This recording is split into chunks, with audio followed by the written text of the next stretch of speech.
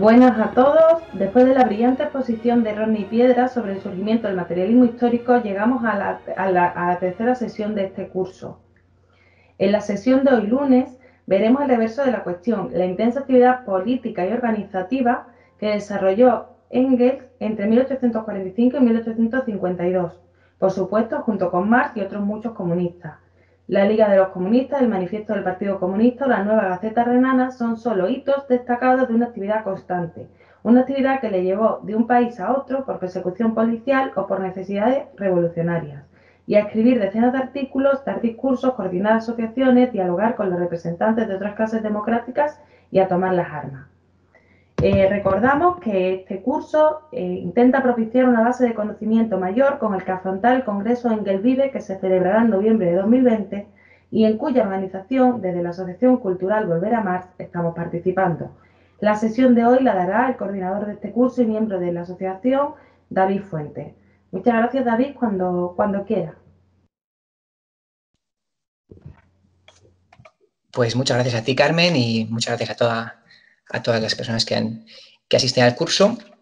Eh, hoy tenemos una sesión eh, con una serie de acontecimientos, bueno, bastante trepidantes, ¿no? Estos años, la sesión de Rodney fue eh, filosóficamente muy profunda y muy necesaria y hoy vamos a ver que esas personas que estaban dedicadas al estudio de esas cuestiones tan, tan abstractas tenían, o sea, eran, parte de, una, de la necesidad revolucionaria, ni más ni menos, ¿no? No hay ningún tipo de contradicción sino todo lo contrario, es, una necesidad toda la profundidad eh, filosófica que nos compartió eh, Rogney en la anterior sesión. ¿no? Es una necesidad para la actividad práctica que hoy vamos a, a ver y intentando pues, eh, ver cómo en esa actividad práctica está esa, subyace esas tareas, toda esa concepción filosófica. Bien. Bien, entonces se ve correctamente, ¿verdad? Si me confirmas, Carmen, que... Sí, sí, perfectamente, David. Vale, pues nada, vamos a, ver este, este fragmento, 1847-1852.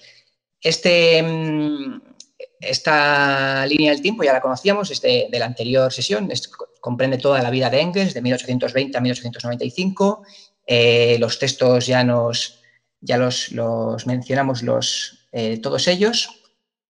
Eh, y hoy lo que vamos a, resolver entonces es en el momento en el que mm, la perspectiva filosófica ha sido aclarada, Marx y Engels han conseguido solucionar una serie de problemas de, concepción y de posicionamiento que venían tratando de, de dar respuesta ¿no? desde más o menos desde 1840 con una serie de textos digamos que en el entorno de la ideología alemana consiguen cerrar eh, filosóficamente esta cuestión. Marx está, está, volcado en la necesidad de resolver eh, las, preguntas sobre la economía política, ¿no? hacer una crítica del modo de producción capitalista eh, minucioso, pero bueno, ya se, ha, ya se, ha, cerrado la premisa filosófica del marxismo. ¿no? Y entonces vamos a ver la, actividad toda la actividad práctica que, se desarrolló. Entonces, si hacemos lupa, se nos, se nos presenta esta, línea del tiempo de 1841 a 1852, ¿no? En la cual, eh, bueno, he incluido aquí mi serie de la filosofía, que es un texto de Marx, no es un texto de Engels, pero bueno, eh, tuvo una importancia, eh, tuvo importancia al interior de la Liga misma de los comunistas, era un texto que había que, que se sugería para, para estudiar y combatir, claro, las tesis pequeño burguesas de, Proudhon y entender cuál era esta, esta nueva concepción que estaban planteando Marx y Engels, ¿no? Entonces, y, es un libro para el cual eh, pues Engels, por ejemplo, hizo extractos del texto de Proudhon, que ya sabemos que el texto de Proudhon se llama Filosofía de la Miseria, ¿no? y, Marx en su crítica le da la vuelta al título con este Miseria de la Filosofía. Bueno, pues Engels eh, le escribió eh, extractos de, también de críticos ¿no? del libro de Proudhon y se os mandó para, para darle más material a, Marx em, para su crítica a Proudhon, ¿no? De modo que, bueno, ya sabemos que trabajaron aquí desde, desde el surgimiento del marxismo, fue un trabajo colectivo en, muy, eh, en torno a muy diversos textos y a muy diversas prácticas políticas que hoy intentaremos verlas directamente, ¿no? Que no, que no quede dicho simplemente que colaboraron, sino que se vea exactamente dónde y cuándo y en torno a qué colaboraron, eh, pues bueno, casi sistemáticamente, ¿no? Bien, eh, arriba están otra vez las cuestiones de, textos, las cuestiones vinculadas a textos, la Sagrada Familia la conocemos, la ideología alemana ya la conocemos, Misión de la Filosofía, hoy veremos principios del comunismo, manifiesto del Partido Comunista, la nueva Gaceta Renana, que, formaron en Colonia en estas fechas, entre mediados del 48 y mediados del 49, con una interrupción que hubo por, por un, eh, una prohibición de, prensa eh, en Colonia. Eh, esa, nueva Gaceta Renana mm, se, luego se reabre desde Londres con este otro subtítulo, ya como revista, en vez de como Gaceta Diaria, ya como una revista más, más gruesa y, con menos, y menos periódica, la revista Político-Económica, la circular del Comité Central de Aliados Comunistas, que es el texto que se había sugerido para leer antes de esta sesión, y bueno, los dos textos más importantes de, Engels de, esta etapa, ¿no? La Guerra Campesina de Alemania, en la que analiza un proceso histórico de 1525, y Revolución y Contrarrevolución en Alemania, que es el análisis de estos años de, inmediatamente previos, ¿no? Digamos que es el equivalente al 18 Brumario de Marx, ¿no? Ese 18 Brumario está eh, centrado en Francia y, bueno, también trata pues, años posteriores, pero, bueno, dialoga con, ese texto, ¿no? Bien, y por abajo lo que tenemos es, nosotros sabíamos ya de la sesión primera que la Liga de los Justos eh, venía ya desde muchos tiempos atrás, pero Marx y Engels entran eh, a inicios del 47 se transforma en la Liga de los Comunistas, esta Liga de los Comunistas no sobrevive a 1852 y bueno, tienen otra actividad eh, política con diferentes asociaciones que vamos ahora a intentar ver con detalle. Bien, retomamos a Engels donde le habíamos dejado, que era que, no sé si os acordáis, había visto a, Marx en, París en septiembre de 44, había, le había dado su texto para la, la Sagrada Familia y se despedía de Marx, ¿no? Luego Marx siguió escribiendo para la Sagrada, Familia más y, puso ese título, ¿no? Que al principio el título era Crítica de la crítica crítica, ¿no? Bien, eh, cuando llega Engels a, a Barmen, Alemania, que ya había estado, si os acordáis, un par de años en Manchester, pues resulta que ha habido un desarrollo industrial y comercial en Alemania, ¿no? Y la contradicción proletaria-burguesía está más presente. En junio de ese año se habían levantado unos tejedores de Silesia y había habido más huelgas y protestas también en el, en el Bupper. Y lo que ocurría es que a estas huelgas de trabajadores también se unían movilizaciones de campesinos y de demócratas pequeño burgueses, lo que daba como resultado pues, una creciente actividad antifeudal. ¿no? Entonces, eh, cuando Engels se había ido de esa Alemania, eh, por un lado represora y por otro lado eh, bastante inmovilizada y había llegado a, Londres, a, Inglaterra, ¿no?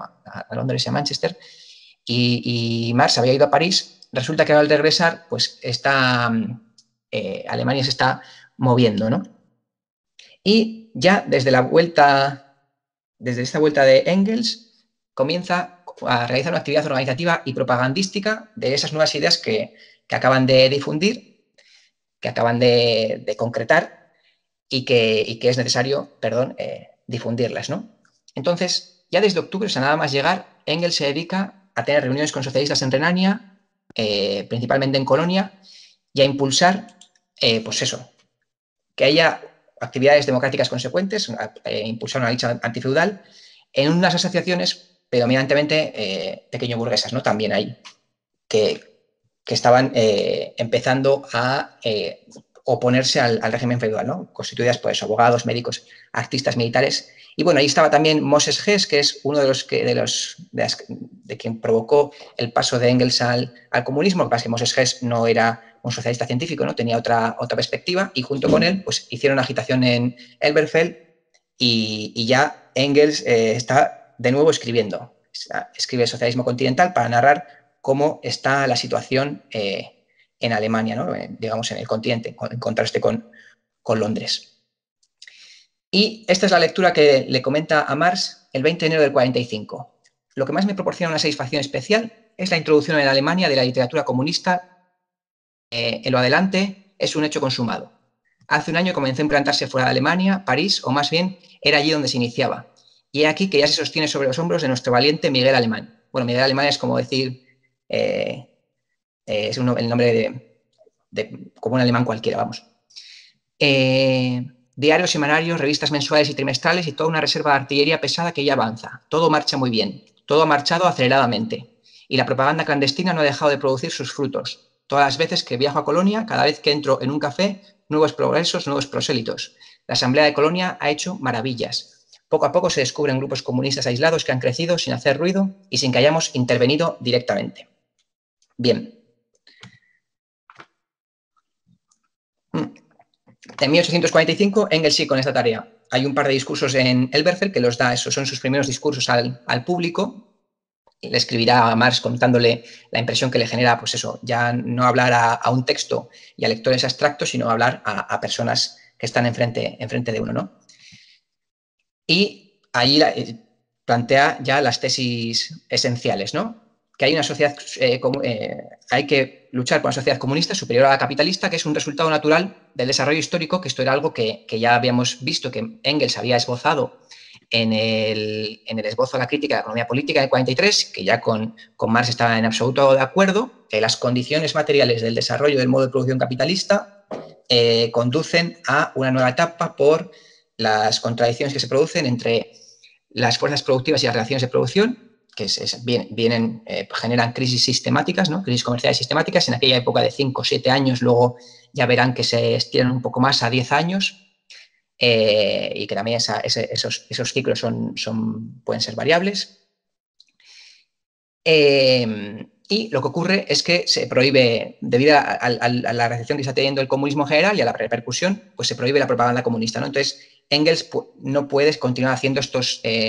Estos llamados a la agitación que, le estaban interesando especialmente. ¿no? Entonces se tiene que dedicar a tareas más, más organizativas, menos, menos públicas. ¿no? Fortalecer los lazos con los grupos socialistas de Bonn, Düsseldorf, Bielefeld, Colonia. O sea que estamos ya viendo a una persona que, bueno, veíamos en la primera sesión la serie de inquietudes y cómo estaba intentando explicarse el mundo, ya está, y ahora ya está con, la claridad analítica y volcado en la, en la práctica organizativa, ¿no? Y mantiene una correspondencia, regular con, Marx a pesar de las, de las dificultades eh, para tener al día de cómo está, va la lucha eh, contra el feudalismo. ¿no?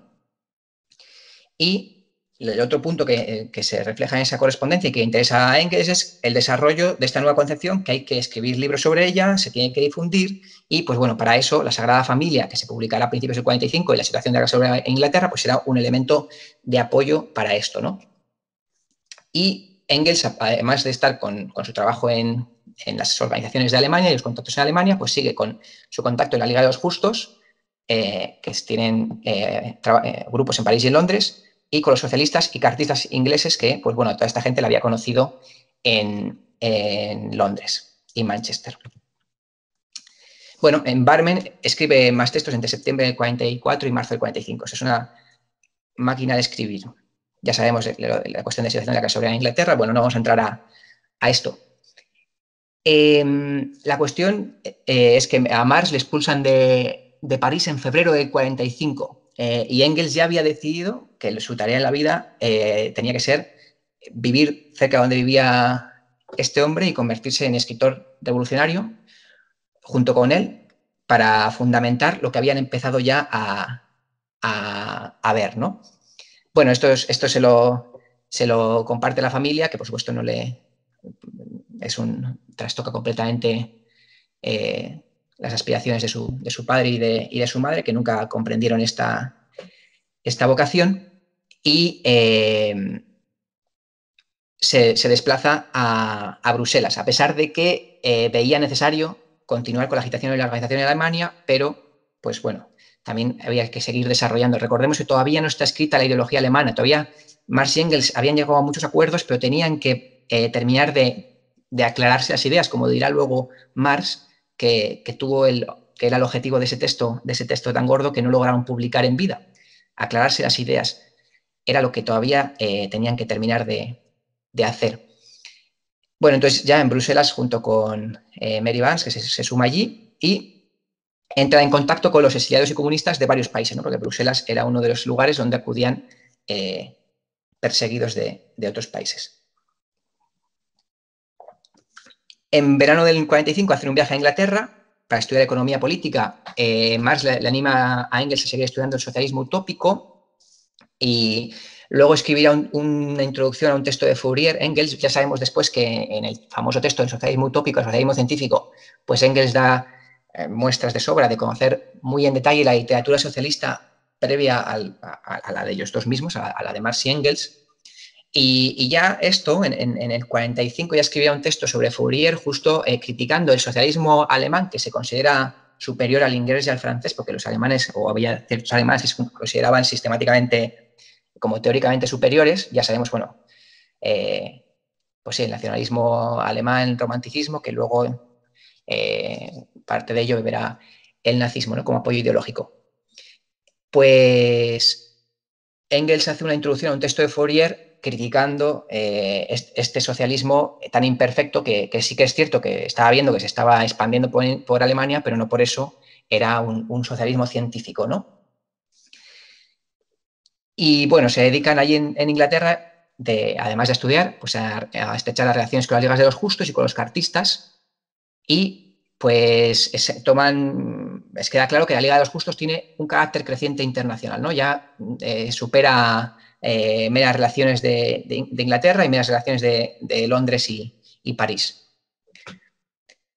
Eh, lo que ocurre es que esa, Liga de los Justos está pues, también influenciada por ideas de estos socialistas alemanes, socialistas verdaderos, como los llaman en, el, en el, manifiesto comunista, y es un sector al que, tiene, al que Marx y Engels van a tener que confrontar en esta etapa.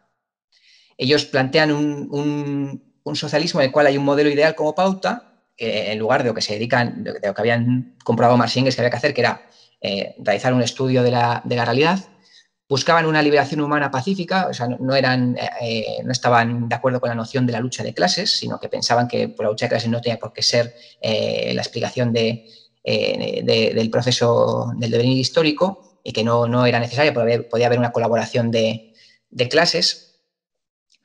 Y bueno, estas ideas estaban, estaban presentes eso, en Alemania y en la Liga de los Justos, que tenían también este, esta, esta otra cuestión que ya hemos visto antes y que también resaltó Rodney Piedra, de no reconocer el papel que tiene la clase obrera o no, haber visto, porque como no se estudia, si no se estudia la realidad, pues no, es, es, imposible reconocer este papel eh, el papel revolucionario que tiene la clase obrera al estar enfrentada antagónicamente con la, contra el capital, contra la burguesía, y cómo esto la empuja a, eh, organizarse y a, ser el, pues el fundamento de la superación del modo de producción capitalista. ¿no?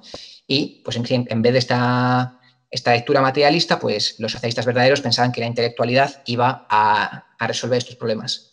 Eh, lo que vemos, por ejemplo, pues es justo lo contrario. ¿no? Marx y Engels eh, se constituyen como intelectuales proletarios al servicio de, este movimiento. ¿no? Es, ese movimiento el que hace que estas dos cabezas, bueno, pues gigantescas, ¿no?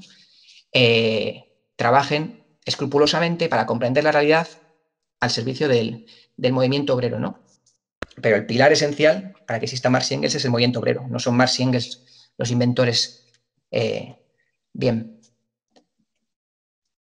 En, ese momento, eh, ya vamos a ver que durante toda esta etapa, por justo por la cuestión de la lucha antifeudal, eh, aparte de dedicarse a la organización del proletariado y a, la Liga de los Comunistas, también se dedican a la organización de los, de los demócratas. Porque, eh, pues eso, se está hablando de una lucha antifeudal, una lucha antifeudal es una lucha interclasista. Y bueno, yo creo que es muy interesante y que se ve en, la, en el texto que se había recomendado para leer, en la carta del Comité Central y también se ve en el manifiesto del Partido Comunista, eh, pues que el, trabajo proletario, teórico y organizativo de Marx y de Engels y la independencia del proletariado a nivel político eh, y esa firmeza eh, estratégica no va en contra de determinados procesos en los que hay que luchar contra un enemigo mayor, encontrar aliados en otras clases en función de las condiciones objetivas que hay que analizar previamente para ver cuál es la alianza. No, no será la misma alianza, la alianza con, con los jornaleros del campo con los jornaleros del campo que con la pequeña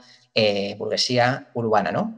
Pero todo eso hay que analizarlo objetivamente, pero si el enemigo es, el, es una monarquía absolutista, pues obviamente eh, hay, hay, más clases que están eh, objetivamente en oposición a esa clase aparte del proletariado. Y en esta época histórica en concreto, el proletariado alemán no era la clase más vigorosa, capaz por sí sola de enfrentar el, el, el, al feudal. Bien. Em, entonces, eso, la, cuestión es que eh, buscan fomentar una reunión de demócratas en Londres para eh, propiciar un movimiento democrático internacional, ¿no? Y, pero siempre ellos apelando a, tratando de posicionar una perspectiva eh, proletaria de la cuestión de la democracia. Otra cosa es que esto siempre sea posible o no sea posible, o eso se da eh, en la lucha política. ¿no? a finales del 45 vuelven a, Bruselas, Engels sigue escribiendo, sobre todo pues eh, una cosa que, ya habíamos dicho que le preocupaba y que sigue ahora con esto es eh, exponer cómo van el movimiento obrero en, los países, ¿no? los países que, él tiene conocimiento, para que el resto del continente, el resto del movimiento obrero internacional tenga este puesto al día. Porque lo cierto es que vamos a, ver, a verlo también, eh, Marx y Engels conciben su actividad de manera internacional desde, eh, desde, su surgimiento mismo, o sea, desde incluso por su experiencia de vida, ¿no? Ellos que habían nacido en, en, Alemania y se desplazan enseguida a Manchester y empiezan a hilar y toda su experiencia de vida es, eh, es eh, internacional y están continuamente eh, viendo la correlación y, los influjos de los movimientos de, revolucionarios de un país y de otro y de las, bueno, ya sabemos cómo empieza el manifiesto comunista diciendo que el, el, centro de la reacción europea es el zar, ¿no? Entonces, tanto para, los, para el movimiento revolucionario como para la reacción, la relación entre estados y el equilibrio de fuerzas que hay entre, entre los diferentes países y cómo unos, eh, lo que ocurre en uno influye en otro, pues eso cualquier marxista pues tiene que, tenerlo en cuenta, ¿no? Y Marx y Engels hacían análisis sistemático de estas cuestiones. Eh, este texto de un fragmento de En el comercio de Fourier es, el texto que prologó Engels para eh, criticando a los socialistas alemanes, ¿no? Los alemanes también están empezando a estropear gradualmente el movimiento comunista. También aquí, como siempre, los últimos y los más inactivos creen que pueden ocultar su somnolencia con el desprecio hacia sus predecesores y la vana jactancia filosófica. El comunismo apenas existió en Alemania antes de que se apodere de él una gran cantidad de mentes especulativas que imaginan haber realizado milagros al traducir al lenguaje de la lógica hegeliana proposiciones que hace mucho tiempo que se convirtieron en lugares comunes en Francia e Inglaterra y ahora ofrecen esta nueva sabiduría por el mundo como algo inédito, como verdadera teoría alemana. ¿no? Engels se ríe, de, ellos, se rían de ellos en la ideología alemana también, por supuesto. La ideología alemana es donde, más lo, harán. Y también lo habían hecho en, la Sagrada Familia. Bien. La ideología alemana que se escribe fundamentalmente en los primeros meses del 46 y el primer capítulo, que es el, más útil, el que pues toda persona que se está formando en marxismo sería propicio que, leyese de, Engels, ¿no? Junto con eso, el, el Antidurin, eh, Feuerbach y el fin de la filosofía clásica alemana, el manifiesto, eh, los principios del comunismo y el, y el, primer capítulo de ideología alemana serían como el, el ABC, ¿no? Em, en este momento, la Liga de los Justos estaba eh, cuestionándose unas cosas que según las vamos a leer, eh, se va a ver que Marx y Engels ya tienen resuelta la cuestión, ¿no? Sus debates en esta época eran, eh, ¿cuál es el objetivo del comunismo? ¿Cuándo la humanidad está madura para el comunismo? ¿Cómo puede ser instaurado el comunismo? ¿Qué clase es la que puede llevar a la humanidad al comunismo? Desde que Marx y Engels identifican que la respuesta a la última pregunta es el proletariado, todas las preguntas previas se van resolviendo a partir del sujeto revolucionario, ¿no?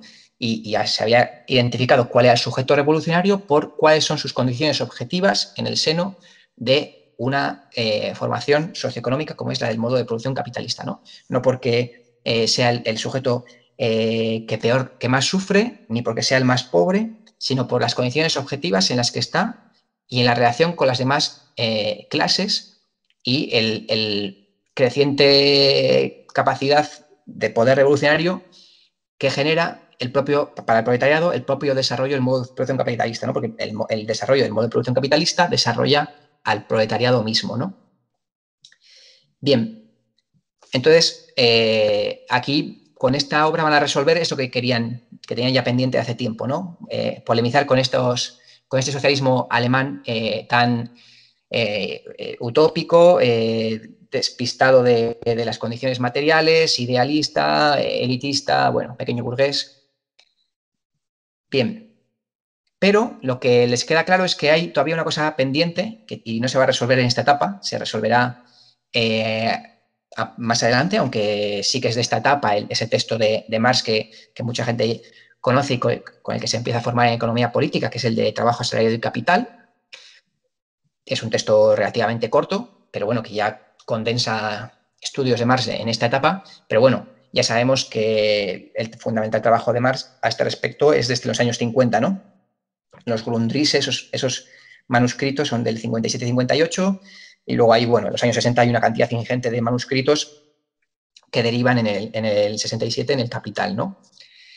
E, eso, entonces, esta, esta respuesta, el, estudio concreto de los procesos reales de vida y las acciones de las masas en cada época histórica, pues eh, es algo que, que, está pendiente, está pendiente.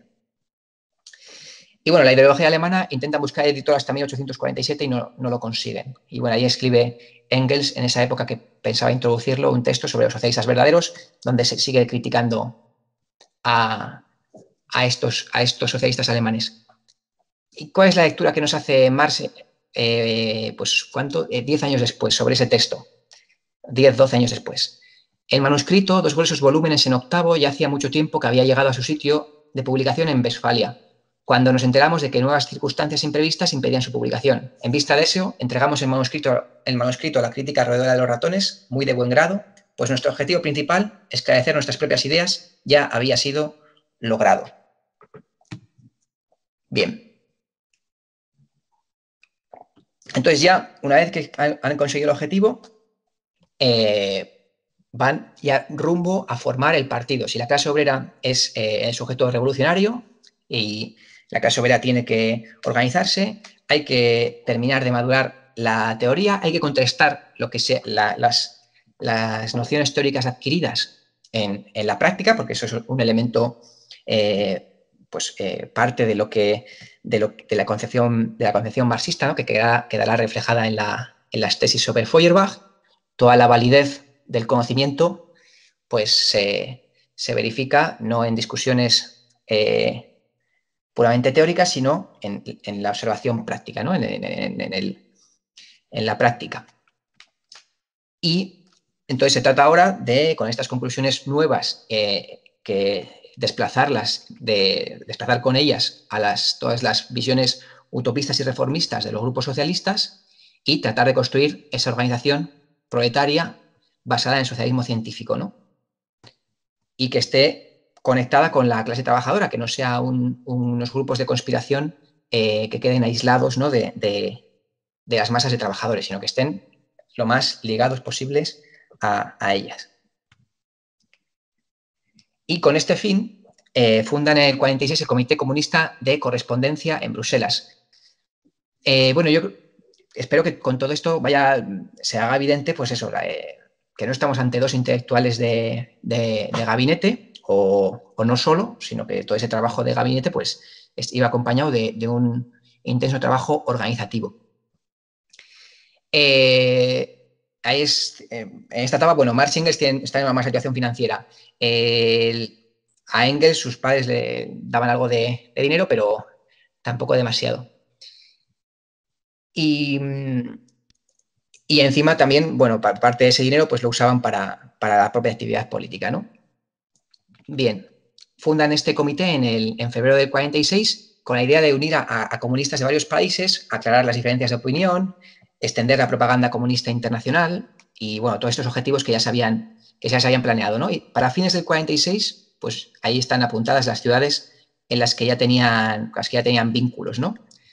Eh, varias de ellas. Y bueno, pues aquí daban esta, esta, batalla, esta batalla teórica que, que, en, la en la ideología alemana y la Sagrada Familia está, está presente, ¿no? Eh, uno de ellos es Karl Grun, que está, hay un capítulo específico en la, ideología alemana dedicado a, criticarle, ¿no?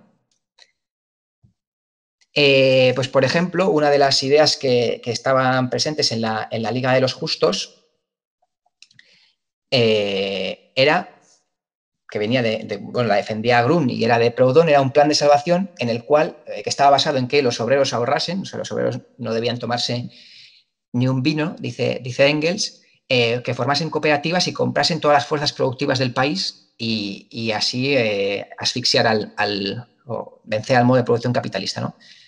De lo cual, bueno, Engels, Engels se, ríe al respecto. Dice que sería más rápido acuñar la plata de, la luna.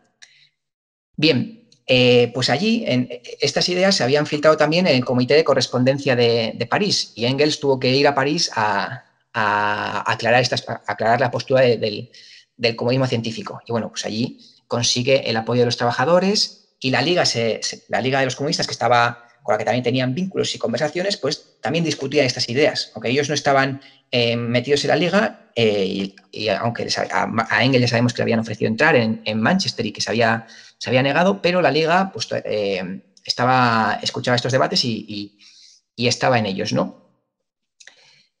Entonces, eh, incluso en la misma liga, las posiciones del comunismo científico, aunque Marx y Engels todavía no estaban dentro, se van, van normalizándose, como es natural, pues porque eran las, las más apegadas a la, realidad, ¿no? O incluso casi se puede decir que las únicas que tenían una vocación eh, científica radical, de partida, de, método. Bien. Em, eh, ocurre que a finales del 46 en, París hay una mayor persecución a los comunistas alemanes y Engels se sometió a vigilancia, entonces toda esa actividad que, había ido a hacer a, París pues tiene que, bajar, el, bajar, el, ritmo y pues se dedica a, disfrutar de París y a estudiar historia, economía y cultura de los países escandinavos y hacer esos extractos de filosofía de la miseria para enviárselos a Marx, que os había comentado al inicio, ¿no? porque Miseria de la filosofía la, lo publicó Marx en el 47, ¿no? Bueno, entonces yo creo que está claro el, frenesí de, Engels. Em, en el 47 entra en la Liga de los Justos. Esto así lo recuerda Engels cuando escribe la contribución a la historia de la Liga de los Comunistas, que es un texto muy agradable de leer y, que, eh, y muy recomendable. Dice Engels, sin preocuparnos de los asuntos interiores de la Liga, estábamos informados de cuanto de importante ocurría en ella. Además, influimos de palabra, por carta y a través de la prensa en los juicios teóricos de los miembros más destacados de la Liga. También utilizamos para ello diversas circulares litografiadas, bla, bla, bla. Estas circulares afectaban también a veces a la Liga misma. Entonces, a inicios del 47 llega eh, Moll, pero bueno, primero había hablado con, con, Marx en Bruselas y luego con Engels en París eh, y les visita para que entren en, la, liga. la, película del joven Marx eh, hace una escena en la que esto están, están los dos juntos, Marx y, Marx y Engels juntos. Bueno, lo cierto es que la, película del joven Marx tiene que sintetizar ahí en, dos horas eh, en dos horas un montón de, procesos de cambio y de organización política y tal, y a veces hace estas estas pequeñas licencias, eh, bueno. Y nada, pues lo que le comunica, lo que le comunica Mola a Marx y es que la Liga está de acuerdo con sus tesis generales, que quieren abandonar la forma de organización previa, conspiranoica y hacer, o sea, perdón, conspiranoica, conspirativa, y hacer una organización eh, democrática tal y, bueno, y legal allí donde pueda serlo, que no sea una asociación eh, oscura, sino que sea, pues eso, que los cargos sean elegidos democráticamente, que busque salir de la clandestinidad donde sea posible y así haya una mayor discusión entre sus miembros y un, mayor contacto con las, con las masas, ¿no? Entonces les pide el ingreso y les pide también no solo el ingreso, sino que cooperen organizativamente y que preparen su, un programa, que, planteen eh, un programa concreto. Y lo que dice Engels al respecto después, retrospectivamente, es que si lo que habíamos tenido que reprocharles hasta entonces era eh, abandonado ahora como erróneo por los propios representantes de la Liga, y esto nos invitaban a colaborar en su reorganización, ¿podíamos nosotros negarnos? Claro está que no. Ingresamos pues en la Liga, Marx tomó, eh, formó una comuna en Bruselas con nuestros amigos más cercanos y yo asistía a las tres comunas de París. Bien, eh, una vez entran, ahí está a, vista eh, un congreso para, junio para decidir este, esta reformulación de los estatutos, ¿no? esta, modificación de la Liga y este nuevo programa, ¿no? en el que Marx y Engels iban a, contribuir. Pero ¿qué ocurre paralelamente a este, a este proceso? Pues que se está generando un, contexto prerevolucionario en, en Alemania bueno, y en toda Europa, ¿no? pero también en Alemania. Ocurre que había habido unas malas cosechas en el 45-46 y esto se suma a una crisis comercial.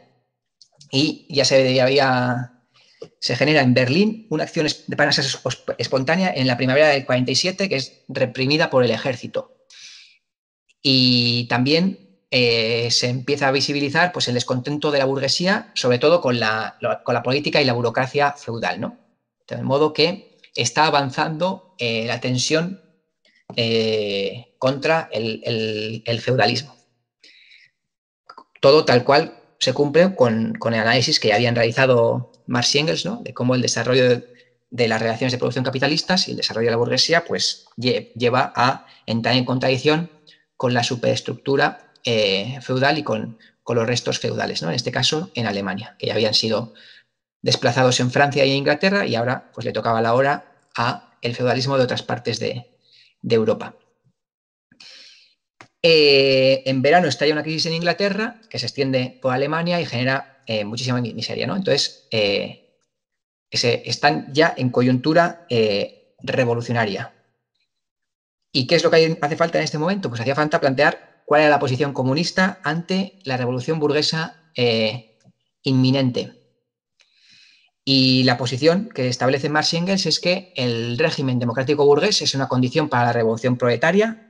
ahí es donde eh, ya habían vivido ellos eh, de primera mano, sabían perfectamente lo que era luchar contra eh, intentar organizarse en el seno del absolutismo prusiano y de un Estado policial en el cual eh, no había ni, libertad de prensa. Entonces ahí es imposible que, un movimiento obrero de masas pueda desarrollarse. ¿no? Hace falta eso, un, régimen democrático burgués es mucho más propicio para el, fortalecimiento político del proletariado. Y, bueno, eh, su diagnóstico es que en ese momento eh, Inglaterra está preparada para una revolución proletaria, Francia preparada para una revolución en la que eh, el dominio de la clase obrera esté compartido con la pequeña burguesía y Alemania está lista para una revolución democrático-burguesa. Después, bueno, verán que estas expectativas serán un tanto aceleradas, pero de hecho es, pues era la tendencia histórica que identificaron en el momento, ¿no? Bueno, Engels, eh, por supuesto, todas estas cosas las, escribe, porque todo esto eh, hace, difunden su perspectiva eh, y escribe artículos al respecto, ¿no? Y, va siguiendo la, evolución alemana y cómo ve venir que se va a producir una constitución representativa para la burguesía allí en Alemania, entonces que los comunistas tienen que, en este, en este movimiento que se ve venir ya, pues formar parte del movimiento democrático y ser el ala izquierda más radical y una parte independiente con sus propias eh, reivindicaciones democráticas.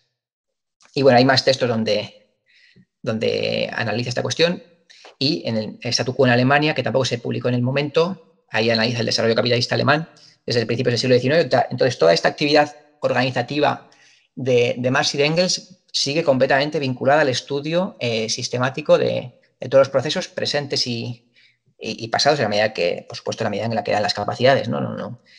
Y, y bueno, Marx también termina la, la miseria de la filosofía, que por cierto, cuando escribe la miseria de la filosofía, le, hay una carta que le envía a Engels diciéndole que ha tomado algunas ideas de, de, la ideología alemana y que a ver si no le importa. Y Engels le dice que, por supuesto, del trabajo colectivo que han hecho ellos dos, que puede hacer con ello lo que, lo que necesite, ¿no? y Engels se dedica a difundir eh, las ideas y el propio texto de Miseria de la Filosofía para seguir haciendo avanzar las nociones del comunismo científico, ¿no? Y así, pues bueno, ya eh, terminar de fundar ese partido de la, clase obrera. El, Congreso de la Liga, este primero, al final se acaba celebrando en julio del 47. Es en Londres, es secreto, porque no, podían, no podía ser de otro modo. Está Engels, Marx no está porque no tiene dinero y está en su lugar, eh, desde Bruselas, eh, Wilhelm Wolf, que es esta persona, a la que, este comunista, a la que Marx le dedicó el capital en el 67, que había muerto en el 64, y bueno, este eh, Wolf tendrá un papel importantísimo en, ayudar a Marx y Engels a convertir a la Liga de los, los Ligados Justos en la Liga de los Comunistas y en el desarrollo de, y la expansión del comunismo científico, ¿no? Porque, por supuesto, en todo este proceso, Marx y Engels serán las piezas centrales. Engels dirá que Marx era el pilar eh, más fundamental, pero junto a ellos había otra serie, otra mucha serie de gente, eh, una más valía que otra, o, eh, alguna gente, pues luego se, tuvo desviaciones, por supuesto, pero también hubo grandes comunistas que les acompañaban, ¿no? Como no puede ser de, de otro modo, que no eran dos paladines aislados. Y, y, bueno, ahí estaba también eh, que, eh, que le termina expulsando de la liga por bueno, sus, concepciones estas de, del socialismo verdadero, el socialismo alemán, etcétera, que se consigue, consiguen eh, Marx y Engels que, que venzan sus, sus, tesis, ¿no? Bueno, en este caso, Engels y Wolf. Y en este congreso ya se produce un avance, unos avances de comunismo científico al interior de la liga. Eh, ya se el hecho de que se llame Liga de los Comunistas, ya no Liga de los Justos, no es simplemente un cambio nominal, sino que la Liga reconoce que no está en la lucha por la justicia en general, esta idea abstracta, ¿no? Esta idea que sería muy del, agrado de los, de los socialistas verdaderos alemanes, sino en oposición al actual orden social, en oposición a el orden que está implantando la, burguesía. Entonces, no es, que busquen justicia, que es una palabra que todo el mundo puede eh, reivindicar, sino que buscan superar el modo de producción capitalista. Tienen una tarea concreta que atender. Em,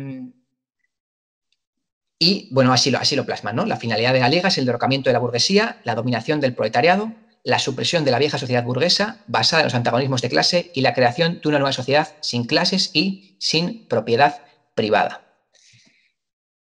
Y pues bueno, eh, en esta misma liga, una de las cosas que se consiguen es que los cargos sean electos irrevocables y que, bueno, se, se sigue un funcionamiento que después se ha llamado centralismo democrático eh, en el cual las mismas propuestas de, programa van a pasar a, las diferentes secciones de la liga y, van, a, van, a, debatirse, ¿no? Lo que, lo que, no se había conseguido todavía en este congreso, a pesar de los avances, es, un reconocimiento pleno de todas las ideas del comunismo científico. No, consiguen cambiar la, liga eh, y toda su, historia de, y su concepción que llevaba 10 años funcionando de la, de la noche a la mañana. ¿no? Pero bueno, ahí siguen trabajando Marx y Engels. Y bueno, en concreto porque había incluso miembros de la liga que, era la primera vez que escuchaban eh, en qué consistía esto del, comunismo científico, ¿no? Así que había, todavía trabajo por, por delante.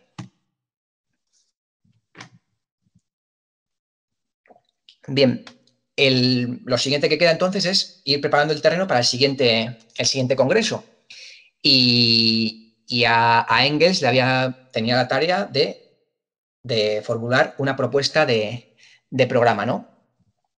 Que, allí habían conseguido eh, hacer, se hizo durante el, propio Congreso, eh, eh, Engels fue que redactó pues, por, su buena, por su buena letra la, la, forma final, y esa era, ese proyecto de profesión de fe comunista, con 22 preguntas y respuestas, era lo que, se iba, lo que iban a debatir los, diferentes grupos de la liga. ¿no?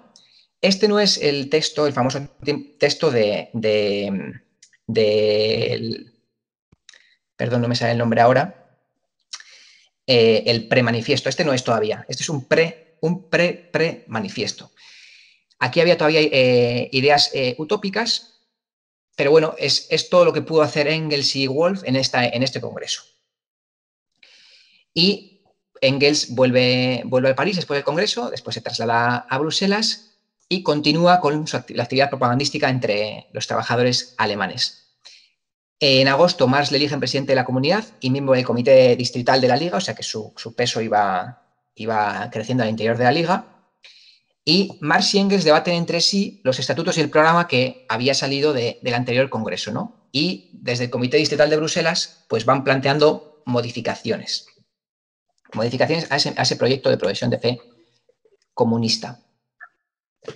Y no solo esto, sino que además eh, fundan una asociación de obreros alemanes en Bruselas eh, en, el, 47 donde, bueno, siguen haciendo mucho trabajo, ¿no? Dos reuniones semanales con conferencias, unas, unas eh, los miércoles hacen conferencias y los domingos Wall resume los acontecimientos políticos y de aparte de eso, pues hay allí canciones, baile, etcétera, ¿no? Entonces, la, la propuesta de Marx y, Engels de ligar el comunismo científico al movimiento obrero y a las masas no era una idea que les maravillaba y que quedaba escrita en los papeles, sino que era eh, una premisa que ellos están siguiendo cotidianamente, ¿no? con, toda su, con su actividad. Aquí estaban formando esta asociación donde Marx eh, explicaba cosas de, economía política y, en el marco de la cual se produjo el texto este de, bueno, el texto es un producto de esas conferencias, el texto de trabajo asalariado y capital, ¿no? Estaban en esta tarea que se habían, que habían identificado como necesaria.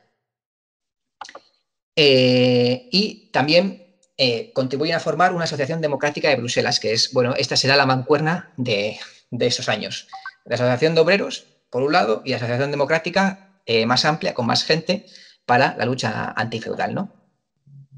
¿Y qué buscan con ello también? Pues que también que incluso que el, movimiento obrero, que la propia Asociación de Obreros tenga, sea reconocida por, por los demócratas, ¿no? O sea, dar más eh, visibilidad y, credibilidad a la, a clase obrera, ¿no? En esta, en esta alianza de clase obrera y pequeña burguesía contra el, feudalismo. Y bueno, eh, Engels siguió, sigue escribiendo eh, un montón de cosas, enfrenta acusaciones contra el comunismo, detalla cuál es el papel del proletariado en la revolución burguesa inminente y lo detalla con claridad.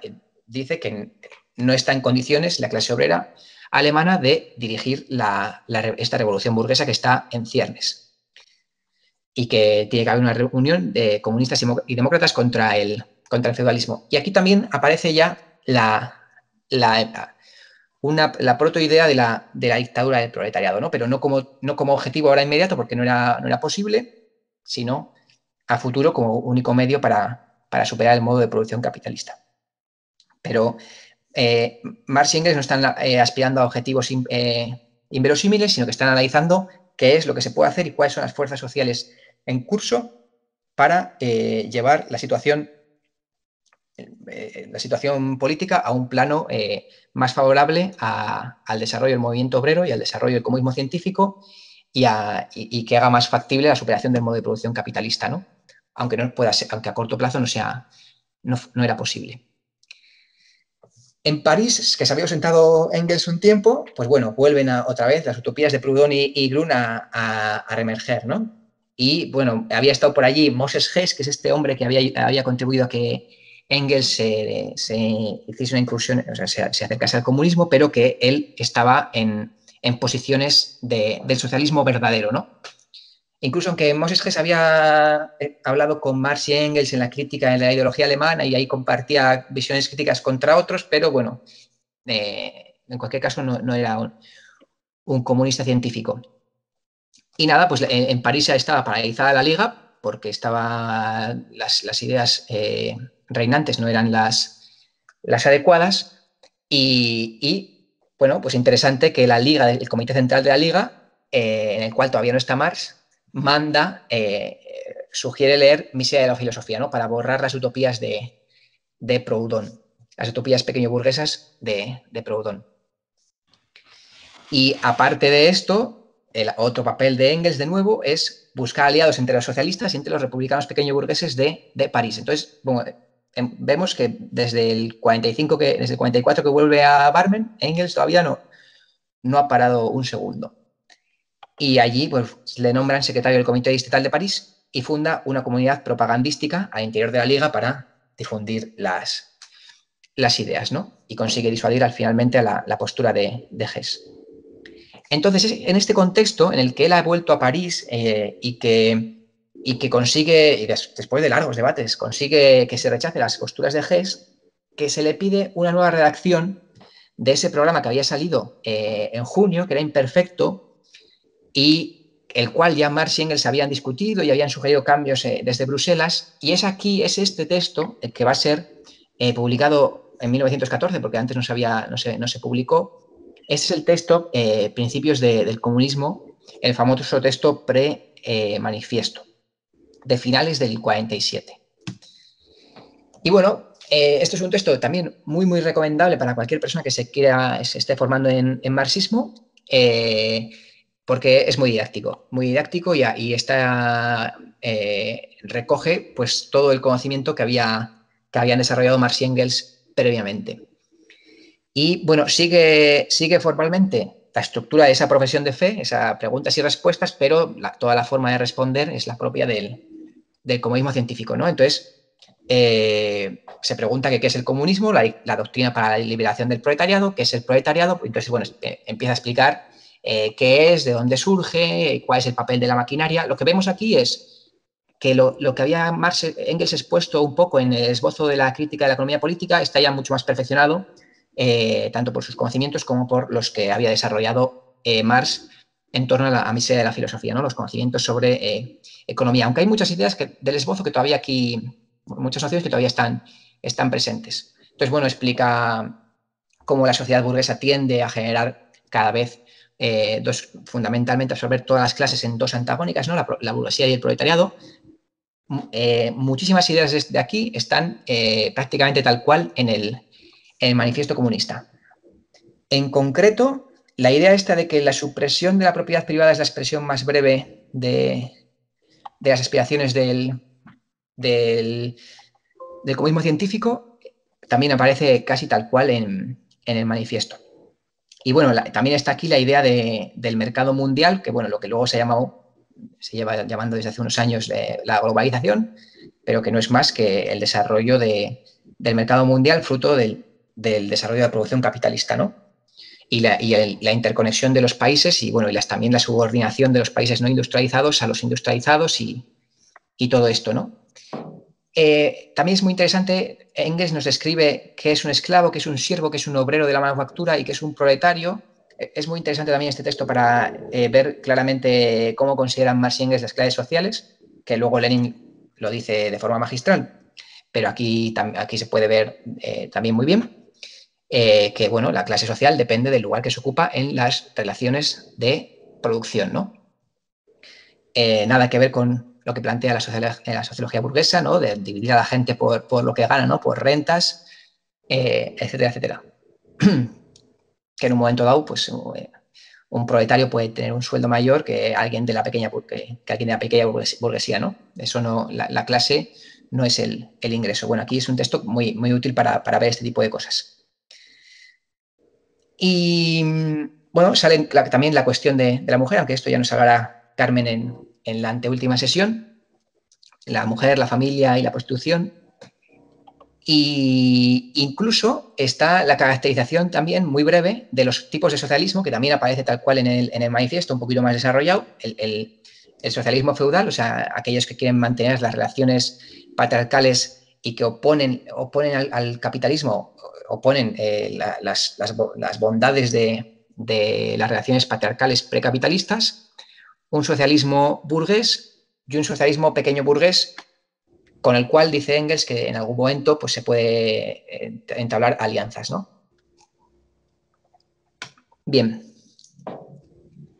En, ahí, esto último lo dice en esta pregunta, ¿cuál es la diferencia entre los comunistas y los socialistas? Y he traído este pedazo porque va muy al hilo de, lo que, de todo el trabajo de, esto, de, esta, de estos años. ¿no? Dice Engels, finalmente la tercera categoría consta de los socialistas democráticos, al seguir el mismo camino que los comunistas, se proponen llevar a cabo una parte de las medidas señaladas en la pregunta 3, pero no como medidas de transición al comunismo, sino como un medio suficiente para acabar con la miseria y los males de la sociedad actual.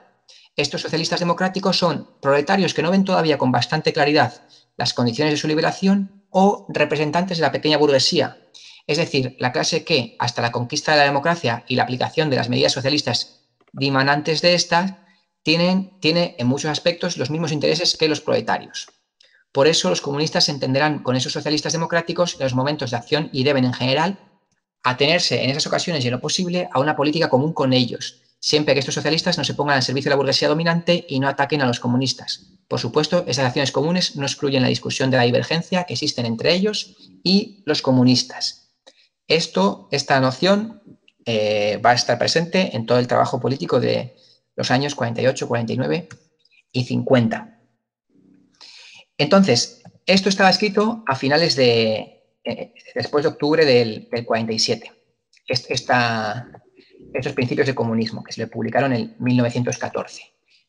Bien, y lo que le dice Engels a Marx en el 23-24 de noviembre del 47 es, una vez que ha escrito esto, le dice, piensa un poco la, la profesión de fe. Creo que sería mejor abandonar la forma de catecismo y llamar la cosa así, manifiesto comunista, sea el nombre, es idea de Engels. Como es preciso hacer un relato histórico de cierta extensión, la forma que ha tenido hasta ahora es bastante inapropiada. Claro, en, preguntas y respuestas, ¿cómo se va a poder hacer ese estupendo relato histórico que es la primera parte del manifiesto comunista, ¿no? Llevaré conmigo lo que he hecho aquí. Es simplemente una narración, pero miserablemente compuesta en terrible prisa. O sea, Engels escribió muy rápidamente estos principios y aún así nos, resultan muy, muy útiles. Comienzo así, ¿qué es el comunismo? Y luego voy derecho al proletariado, la historia de su origen, su diferencia con los obreros anteriores, el desarrollo de la contradicción entre el proletariado y la burguesía, las crisis, los resultados. Mechado con esto, mezclado con esto, toda clase de asuntos secundarios y finalmente la política del partido de los comunistas, en la medida que, en que puede hacerse pública. Estas, estas medidas también coinciden eh, enormemente con las del manifiesto, aunque hay algunos cambios. entre estas, por ejemplo, el cambio igual más, que más llama la atención es que aquí aparece la idea de, que las expropiaciones sean, sean, pagadas, las expropiaciones a, terratenientes, a, quienes, a, quienes han atentado contra el nuevo régimen no, pero a, un propietario de tierras que se le, se le dé unas asignaciones a modo de pago y en cambio en el manifiesto ya eso se queda rechazado. ¿no? Y dice Engels, lo que aquí tengo todavía no ha sido sometido a aprobación, pero a excepción de unos pocos y pequeños detalles, espero terminarlo en una forma en que por lo menos no haya nada contrario a nuestras opiniones. Y esta es eh, la situación concreta de ese texto de los principios del comunismo. Un texto que Engels ha hecho rápidamente, que está viendo que hay que cambiar la forma del, del texto anterior y que es ya eh, el proto eh, manifiesto del Partido Comunista. Bien, pues eh, entonces llega, en este contexto llega el segundo congreso, ¿no? Esta carta es del 23-24 de noviembre, llega el segundo congreso, el 29 de noviembre. Engels viaja como delegado de París y Marx como delegado de Bruselas. Y bueno, el, se abre el congreso con un mitin de los demócratas fraternales, que es una asociación con la que tenían relación, y también ahí, pues con esta mancuerna que estamos viendo de movimiento obrero, pequeña burguesía, se propone un, Marx propone, un Congreso Internacional Democrático en septiembre del 48, ¿no? Para que haya eso, una, una, mm, pues un análisis político desde, desde las preocupaciones democráticas, no, las específicamente obreras, sino las interclasistas democráticas antifeudales, para eh, organizarse. Y aquí ya en este, en este meeting, Engels eh, hace esta afirmación en relación con la situación que se estaba dando entre Alemania y Polonia, de que una nación no puede liberarse y al mismo tiempo explotar a otras. El, componente internacionalista estaba ya aquí de, vamos, desde el nacimiento mismo del marxismo. Es muy interesante porque eh, estamos haciendo mucho hincapié en la cuestión de, la clase obrera contra el capitalismo, pero hay un montón de cuestiones que están desde el principio. La cuestión de la mujer está desde el principio. La cuestión del internacionalismo, internacionalismo proletario está desde el principio. La cuestión de la relación entre el ser humano y la naturaleza, que también hay gente que, ha considerado que, el marxismo no tiene en cuenta la naturaleza, es completamente falso, está desde el principio, está desde los manuscritos económico-filosóficos de, de, París, de Marx, del 44. En el esbozo también hay una pequeña sentencia de que el comunismo conseguirá reconciliar al ser humano con la, con la naturaleza. Entonces, hay un montón de temas que están ya, como es lógico, con una cosmovisión que ha nacido eh, tratando de, entender las cosas en su generalidad, el ser humano en su generalidad y en su, y en su concreción en la sociedad burguesa, pues eh, nace no con una preocupación exclusivamente proletaria, sino con una perspectiva eh, global. ¿no? Ya habíamos visto incluso que Engels, bueno, Engels había estudiado muchas ciencias naturales ya antes de, ver a Marx y luego ya nos contará en la sesión dentro de tres sesiones, Sergio nos contará más detalles sobre la dialéctica de la naturaleza de, Engels, ¿no? Bien. Y bueno, allí hay miembros de diferentes países, ¿no? De Alemania, Francia, Suiza, Bélgica, Inglaterra y más. O sea que la Liga es eh, una agrupación internacional, es un partido internacional.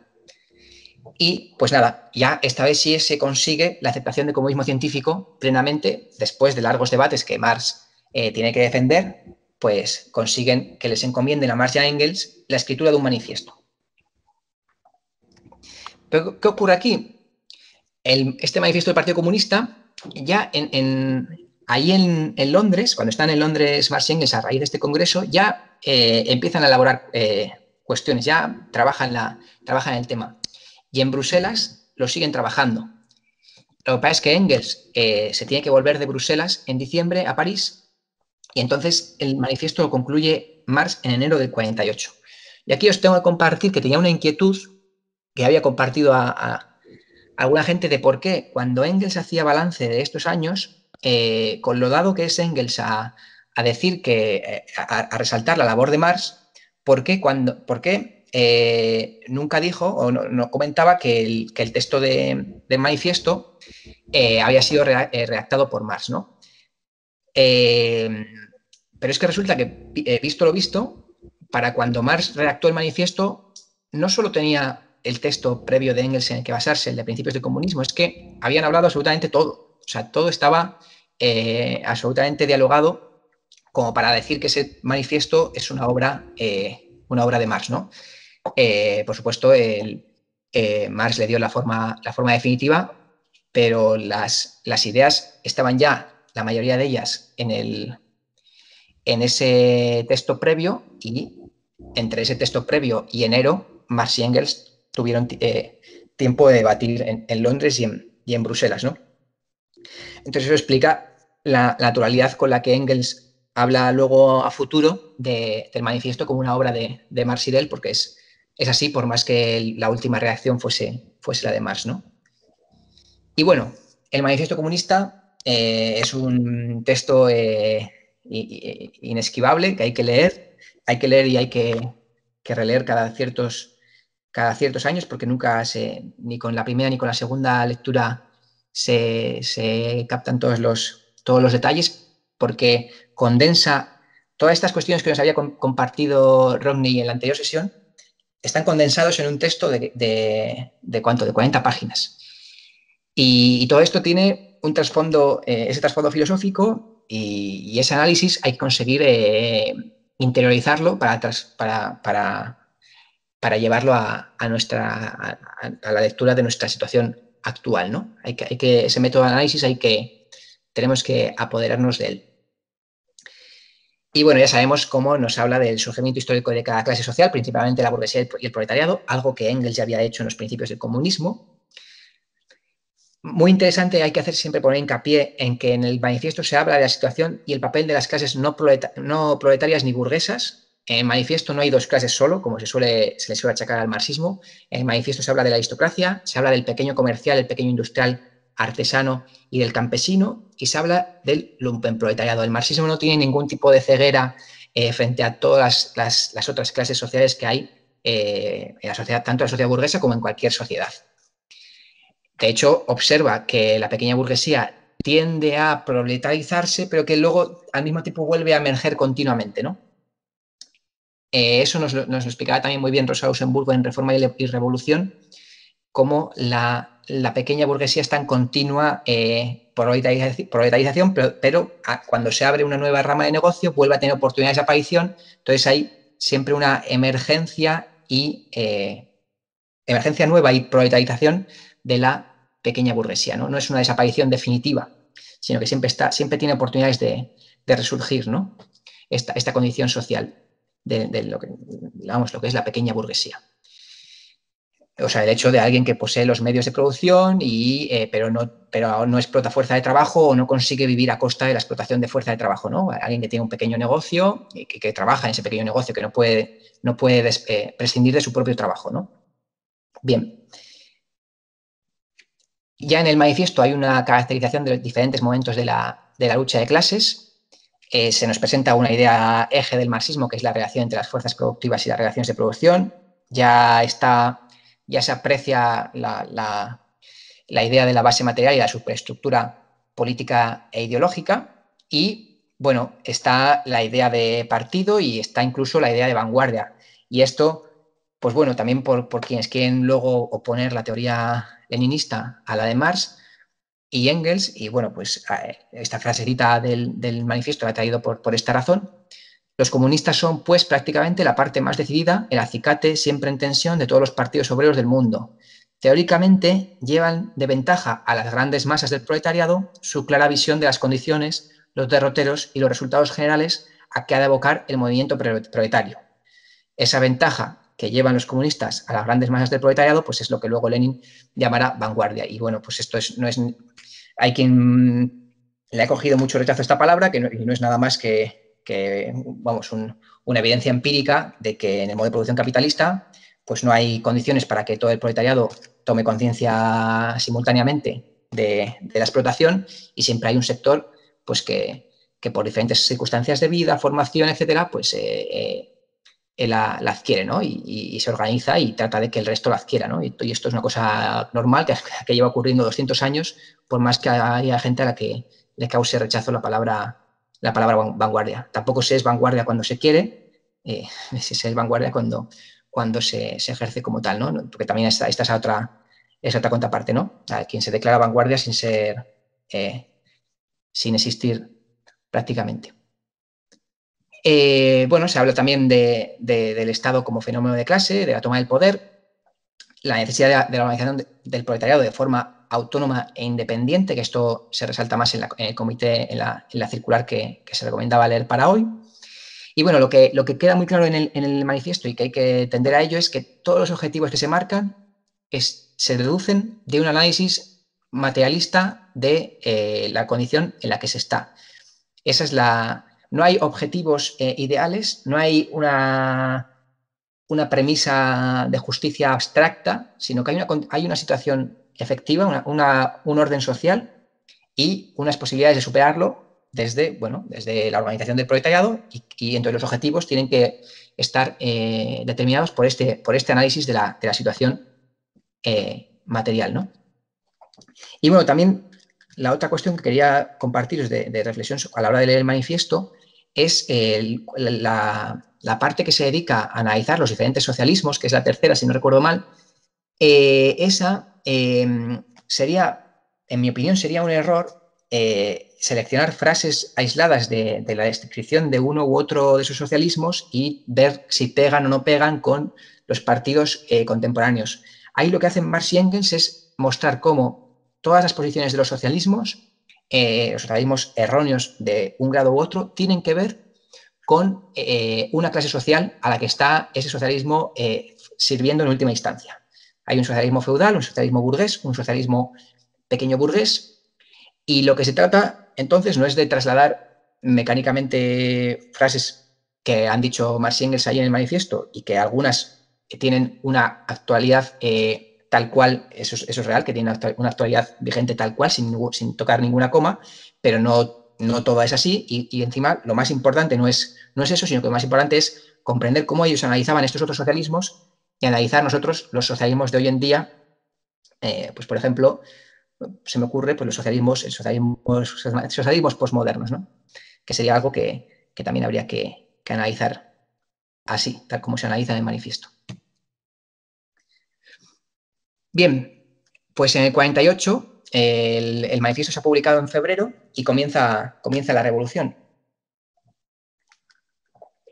Em, Engels le, expulsan de Francia, tiene que ir a, Bélgica y eh, se extiende el proceso revolucionario desde Italia, llega a Francia, el 25 de febrero se proclama la Segunda República, que sabemos que es la que se carga eh, el Napoleón III, ¿no? Es lo que narra Marx en el 18 Brumario de Luis Bonaparte es eh, cómo surge este, este, este Napoleón III eh, que acaba con, con, esta república que, se eh, que surge en el 48 y acaba en el 52. Y bueno, esto se extiende a Austria, Bohemia, Hungría, Polonia, Alemania Meridional y Prusia, ¿no? Entonces, todo lo que se llevan preparando Marx y Engels en los últimos con más decisión, digamos, sí, con ya con claridad, ¿no? A, la línea proletaria desde hace cuatro años, pues ya ha estallado en Europa. Ha estallado la revolución y hay que tomar posición y hay que, hay que hacer tarea política, que ya está, por, por otra parte ya estaban haciendo. Y, nada, pues el Engels ya está, está de nuevo escribiendo sobre, sobre la situación, ¿no? Y eh, escribe sobre la situación alemana, sobre la, burguesía tan débil que, existe, que era, algo que él ya había visto desde que, se, desde que estaba allí trabajando en Barmen y en Bremen, una burguesía incapaz de, oponerse al absolutismo. Y, pero este dominio político de los Junkers y de los, nobles, de los nobles, más las condiciones eh, semifeudales que existían aún en Alemania, más el hecho de que Alemania estuviese dividida, pues bueno, era un freno al desarrollo capitalista que se había empezado a... Eh, que, había, que estaba empujando hacia adelante, ¿no? Entonces, esta, estaba, esta, contradicción empezaba, empezaba a explotar. Y bueno, la, la Engels en este texto, Tres nuevas constituciones, caracteriza de nuevo como esta, esta es una revolución democrático-burguesa y lo que se trata es de que o sale de aquí en el, en el gobierno la nobleza y la burocracia, o, sea, o el resultado es la nobleza y la burocracia, o el resultado es un gobierno de la burguesía. No, no cabe esperar otra cosa, esas son las dos cosas, y ya sabemos cuál es el papel del Partido Proletario ante, esta, ante este balance o estas opciones eh, a las que aboca una condición material objetiva. ¿no? Es el apoyo eh, a la burguesía desde el ala izquierda, un, es la búsqueda de un, de un desarrollo democrático, republicano, lo más eh, afín a las necesidades del proletariado. Bien. Bueno, hace una, unas lecturas bastante optimistas en, el, en, un texto del 47. Eh, del 48, perdón, pero sobre el 47. Mm, en este momento, el Comité Central de la Liga, que estaba en Londres, le eh, pasa los poderes al distrital de Bruselas, a Marx y Engels. O sea, Marx y Engels ya, pues claro, han, ya han escrito el manifiesto y, bueno, ya están eh, en la cúspide de la, de la Liga, ¿no? Como, las como dos personas de, máximo reconocimiento ya para la Liga de los Comunistas. Eh, aparte de esto, están con su, trabajo en la Asociación de Obreros Alemanes, la Asociación Democrática, donde Marx es vicepresidente, Engels es muy activo. Bueno, eh, en, en, marzo aumenta la persecución y se van a París. En París había estallado la revolución y entonces, pues en París pueden, ya pueden, pueden volver allí, ¿no? Y allí Marx es presidente del Comité Central de la Liga de los Comunistas y, entonces a lo que se dedican ahora Marx y Engels es al contacto con Alemania. Hay que ver qué se puede hacer en Alemania, cómo se va a, hacer, cómo se va a extender, cómo se va a orientar el movimiento democrático en Alemania desde una perspectiva obrera. ¿Cuál va a ser el papel del Partido Comunista, del Partido Obrero, en la revolución en Alemania? Bien, pues el objetivo es este, divulgar el comunismo científico y unirlo al movimiento obrero. Eh, bien, y para ello, bueno, en, Colonia hay, una, hay, un grupo de la Liga, que será la base, eh, y más que nada porque Colonia está siendo el, punto de partida del movimiento popular en Prusia, ¿no? Entonces está teniendo un papel muy importante. Y allí, bueno, se, hace, se organiza una, acción de masas contra el gobierno prusiano y hay, eh, lo que se trata es que los comunistas traten de estar a la cabeza del movimiento democrático y que los, obreros eh, organicen su, actividad, ¿no? Estoy viendo que estoy yendo muy despacio, que queda poco tiempo y que me, falta mucho y que tengo que acelerar. Entonces, bueno, pues vamos a a saltar rápido. Eh, bueno, vamos a decir que hay una primera etapa de triunfos eh, democráticos, donde Marx y Engels están analizando y organizando de todo tipo, escribiendo textos y, yendo a asambleas y demás. Eh, redactan unas reivindicaciones del Partido Comunista en Alemania, que se parecen mucho, voy a decir solamente esto, se parecen mucho a las que hay en el manifiesto comunista, es las del manifiesto comunista aplicadas a la situación alemana. En este contexto, estando en Francia, la pequeña burguesía lo que busca es importar la revolución, quieren crear unas legiones eh, que dice Engels que era una costumbre típica de, los exiliados, crear una legión de alemanes y mandarla a Alemania. Y, dicen, y dice Engels, nos opusimos con la mayor energía a este intento de jugar a la revolución. En medio de la efervescencia reinante en Alemania, hacer una incursión en el país para importar la revolución desde fuera y a la fuerza equivalía a socavar la revolución alemana.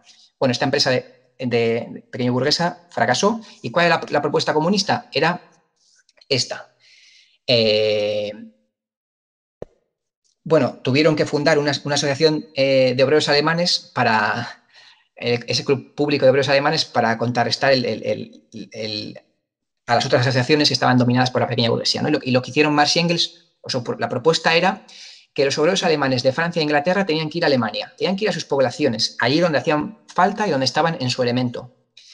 Eh, fueron entre 300 y 400 obreros revolucionarios, con los volantes con las 17 reivindicaciones que habían redactado Marx y Engels, y la misión era organizar trabajo revolucionario, fortalecer los grupos locales, formar nuevos grupos y fundar nuevas asociaciones políticas legales de trabajadores. Está claro que aquí lo que había era un esfuerzo por organizar y expandir la efervescencia de Alemania, no mandar a un grupo eh, militar eh, entrar por la frontera y, salvar, la, salvar la patria, ¿no? Bueno, em, lo que en este momento Marx Engels se trasladan a Alemania con el objetivo de crear un gran diario democrático para el partido, que es, ya sabemos cuál es, la nueva Gaceta Renana o la nueva Gaceta del Rin, depende que quién lo traduzca, ¿no? O, la nueva, a veces en vez de Gaceta lo traducen como revista o, bueno. Con el objetivo, con estos objetivos que tenía el periódico, ¿no? Defender objetivos, eh, los objetivos políticos, divulgar ideas comunistas, intervenir en sentido orientador, ejercer una influencia organizadora y orientar a los miembros de la liga que trabajaban en condiciones muy distintas e independientes, ¿no? Y a esto se iba a dedicar la, eh, pues los miembros del Comité Central, ¿no? Marx, Engels y... Bueno, y así nace la nueva Gaceta del, Gaceta Rin, el órgano de la democracia, así es como se llama, que funciona de junio del 48 a mayo. Y bueno, y aquí eh, se publican, eh, es, es, diario, se publican un montón de números, son 300 o 301, y el caso es que aquí Engels, bueno, trabajan a, destajo, ¿no? Este, de este periódico dirá Lenin, Maravillas, y, y bueno, aquí Marx deja la herencia paterna y Engels parte del dinero de la familia para, sacar el periódico adelante. Bien. Eh, con, Marx siempre a la cabeza, ¿no? Marx era jefe indiscutido de, la relación, de la redacción de este, este periódico. Y sí, 300 son números. Bien. Tengo que pasar, lo siento, pero tengo que pasar, me, he despistado con la hora. Eh, en, este texto, en esta gaceta, bueno, pues eh, Engels se dedica a unas cosas más en particular. Se dedica al análisis de las cuestiones militares en toda Europa, eh, a la política exterior y escribe la mayoría de los artículos eh, editoriales, ¿no? Entonces hay un poco ya de, cierta división del trabajo, aunque Marx y Engels se consultan y colaboran en sus, en sus documentos, en sus, artículos. Bien, eh, ahí mismo hay una asociación de obreros de Colonia con miles de afiliados que cuando detienen, para declarar a los, redactores en un momento u otro, pues bueno, organizan manifestaciones ¿no? y protegen, a, protegen a, los miembros de la redacción de la Gaceta del Rin. Y bueno, hay comunistas también que la distribuyen y que la leen en sus centros de trabajo y que tratan de, llevar la, línea política, ¿no? Y aquí ya aparece una idea que, después se concretará y, se, hará más clara en la Comuna de París, dice Engels en julio del 48 en la Gaceta, después de una revolución, la renovación de todos los funcionarios civiles y militares, así como de parte del judicial y en especial del Ministerio Fiscal, es la primera necesidad. Bueno, luego esto habrá, dirán ¿no? que hay que destruir el Estado burgués ya más nítidamente, ¿no? pero aquí empieza ya a aparecer la idea de que no se puede tomar el Estado y, tal cual eh, eh, utilizarlo. ¿no? Bueno, eh, vamos a decir que hay una actividad parlamentaria inconsecuente por parte de la pequeña burguesía que no apoya los alzamientos y, que no es enérgica eh, contra, contra, el feudalismo. Y Engels trata de, de, eh, que, sí, ah, de, que, de, lo contrario, ¿no? de, convencer también al Parlamento para que haga sus. el, Parlamento de Frankfurt para que ejerza con consecuencia una política antifeudal. Siempre eh, viendo en relación con todas las otras luchas del resto de, países, ¿no? que ya sabemos que Engels sabía leer pues, para esta época más de una docena de idiomas, entonces está especialmente capacitado para, para esta tarea. ¿no? Bien, en París en junio se alzan los trabajadores y pierden contra la burguesía. Y entonces, eh, ahí, a partir de aquí, empieza el avance de la contrarrevolución en Europa. ¿no? había empezado en, febrero el despunte, pues hasta junio dura, en junio empieza el avance ya de la, de la contrarrevolución. Eh, entonces, bueno, intensifican su trabajo de todo tipo, Marx y Engels, de, tanto en, la redacción como eh, reuniones democráticas, asociaciones de obreros, etcétera, etcétera. También Marx tiene que buscar financiación para el periódico y, bueno, buscan que desde Colonia haya más relación con las, ciudades cercanas, con los, los campesinos, eh, con los trabajadores rurales. Tratan de construir un, un movimiento lo más, lo más fuerte posible, pero en el gobierno de Berlín, de la gran burguesía, es sustituido por un gobierno eh, afín, a, la, contra, a, la, reacción, ¿no? a, la reacción feudal. Y Engels ya tiene que, tiene que huir de, Colonia y se tiene que marchar a, Bélgica. Ahí en, Bélgica le, le detienen y le expulsa, se le echan a París en París la revolución había sido derrotada y él va un tanto eh, decepcionado eh, hasta, hasta Berna, hasta se dirige a, Suiza, cruza todo desde París a Suiza eh, andando, ¿no? Y bueno, ahí conoce el mundo rural, el mundo rural francés. En, bueno, en Suiza llega sin medios, le ayuda a Mars, su familia le ayuda a algo, que su familia está, le, intenta persuadir de que rompa con Mars y, que se vaya a América si le están persiguiendo en, Prusia, porque hay una orden de detención de, Engels. Y,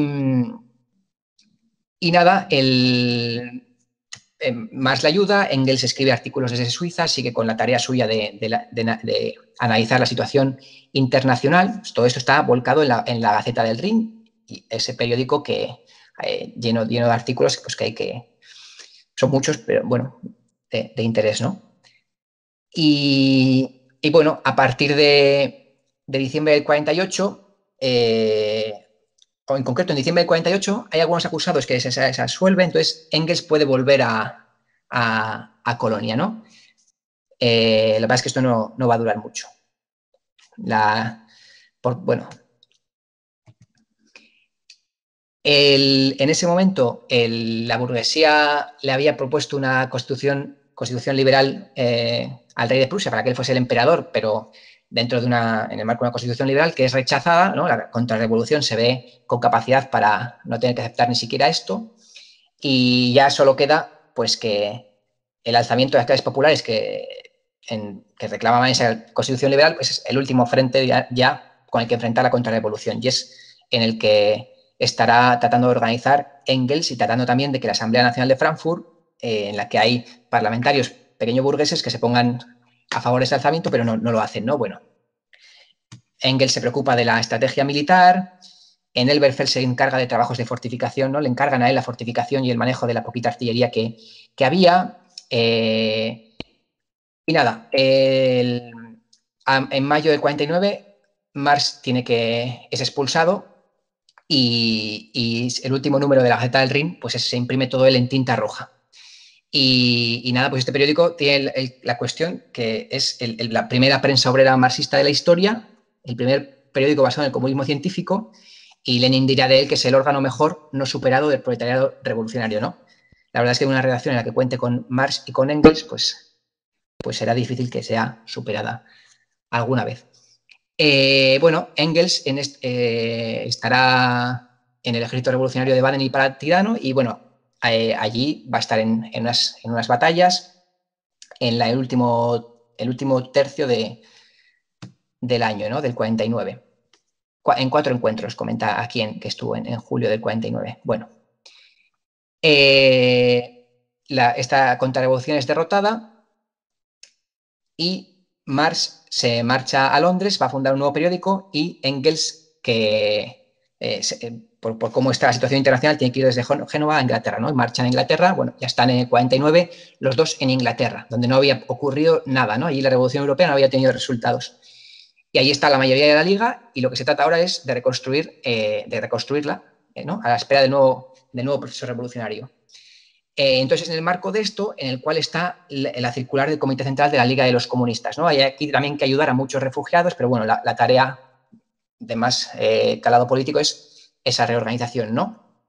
En la cual hay que sacar, eh, sacan aprendizajes ¿no? en, esa, carta del Comité Central, que ya lo venían viendo sobre los problemas de, la pequeña burguesía y que hay que asegurar la independencia respecto de ella, la independencia política del proletariado, que todo el momento haya una organización autónoma y que todas las, alianzas que se hagan, que se, que se, pueden hacer, pero conociendo exactamente cuál es la lectura eh, política desde la posición de clase del proletariado. ¿no?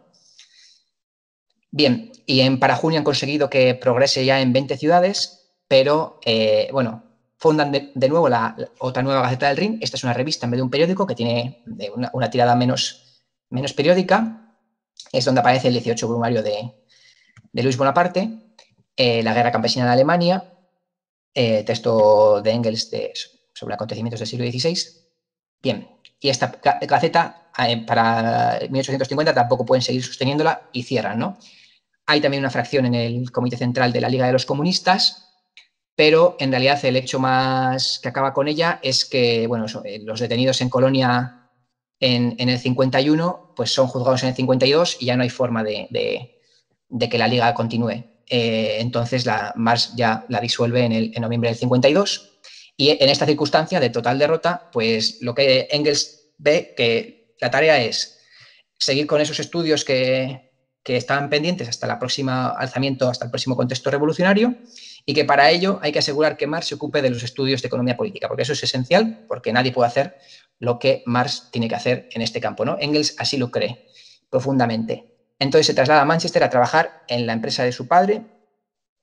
O sea que podemos imaginar que después de todos los eh, de, lo mal que lo, mal que le juzgaron, pues la familia estaría medio, medio contenta a conseguir pues algo de dinero fijo y eh, tratar de ayudar a, Marx, que bueno, no conseguirá tener conseguir tanto dinero desde el principio, pero bueno, para finales de los 50 ya podrá mandarle cierta ayuda regular a, a Marx.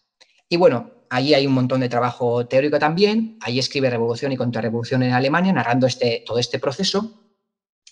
Y lo que vemos es que antes de, eh, hasta el 46 más o menos, habían eh, Marx y Engels resuelto la fundamentación filosófica del marxismo. En el 48-49, con, tanto con el manifiesto como con toda la, con la gaceta de, con la nueva gaceta del RIN, eh, se resaltan o, llegan a muchas tesis eh, políticas, ¿no? Y a lo que queda es eso, resolver la cuestión de la economía política. Eh, y empiezan una división del trabajo no estricta, pero en la que en todo momento hay consulta e intercambio de ideas, incluso se hacen trabajo mutuo, ¿no? Si Engels no te hace un libro, Marx en, en, Londres va y le manda luego los resúmenes a Engels, bueno, es una relación de una fraternidad y de una erudición eh, tremendas, ¿no? 1.300 cartas cruzadas entre Londres y Manchester, que son también un documento para formarse, eh, o sea, una recopilación de documentos muy, muy importantes, ¿no? Y, y bien, eh, bueno, lo, que más se dedica Engels aquí es ciencia, en esta etapa es ciencia militar, lingüística y después se dedica también a las ciencias naturales. Y nada, pues como, punto de cierre, eh, esta, cuando se murió, uno de los hijos de, de, Marx en el 55, pues le escribía a Engels estas palabras. En todos los momentos de terrible dolor por que he pasado estos días, me ha servido de consuelo pensar en ti, en tu amistad y la esperanza de que todavía eh, hemos de hacer tú y yo juntos algo razonable en la vida. Quería decir que bueno, la profunda amistad que ya conocemos que hubo entre Marx y Engels no, no era una mera cuestión de simpatía, sino que la clave está, en mi opinión, en esta idea que dice aquí Marx, ¿no? todavía eh, tiene esperanza de que hemos de hacer algo tú y yo juntos razonable en la vida. Es una comunidad absoluta, una, comunidad absoluta de objetivos de vida, ¿no? de, sentido revolucionario y un respeto enorme por el trabajo del uno y del otro, por el nivel de compromiso y por las capacidades del uno y del otro, lo que fundamenta esta, esta profunda amistad. Y bueno, ahora vemos estos años, eh, creo que mucho más agitados de, cómo se veían este, esta línea del tiempo cuando, cuando ha comenzado la cuestión, que incluso pues, le faltan, ¿no? Le faltan asociaciones y espacios políticos en los que participaron, eh, bueno, principalmente Engels, ¿no? que ha sido la figura que, que, he intentado seguir.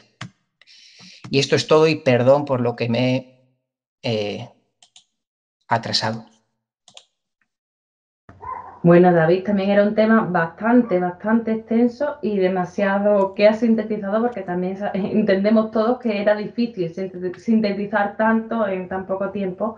Eh, lo que hemos hablado, como ya son las nueve, y eh, como ya son las nueve, lo que habíamos hablado era de que podíamos dejar una sesión especial para preguntas que grabemos otro día para que, por si, por si tienen algún tipo de preguntas, que tendrán muchas, porque ha sido eso, ha sido muy, muy completa. ¿Qué te parece, David? Eh, a mí me es lo, que, lo que, como digáis, como digáis, vamos. Así que, bueno, David Alcázar, he visto, yo había hecho una pregunta y también había un comentario arriba os pediría que la guardaseis y ya para hacemos esa sesión especial donde grabaremos una con David también para, para, para responder a esas preguntas y también para los comentarios que tengáis que hacer. Eh, muy buenas, David. Eh, voy a proceder primero con dos que se quedaron en el chat del pasado lunes. La primera es de Juan José Piñar, que decía, con la ley tendencia de acumulación del capital nacen los monopolios globales y de esto la proletarización generalizada. Desaparece el estrato medio y las dos clases esenciales se radicalizan. Las élites de la burguesía desaparecen y los estratos trabajadores también. La clase capitalista burguesa o rica se caracteriza porque, luego de los cracks, vuelve a organizar, a organizar el sistema. Su esencia es la posesión de los medios de producción masiva de bienes y servicios. Como una ley social es como una ley social es una tendencia hoy en capitalismo radical, solo quedarán dos clases sociales, burgueses mega ricos y proletarios.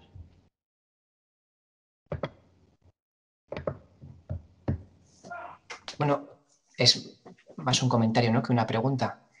Eh, hay, una, cosa que no, no, llego a entender muy bien, es la idea de que las, las élites de la burguesía eh, desaparecen. no, sé muy bien a qué, a qué se referiría. Es una pena porque no, eh, no está la persona, no puede repetir la pregunta.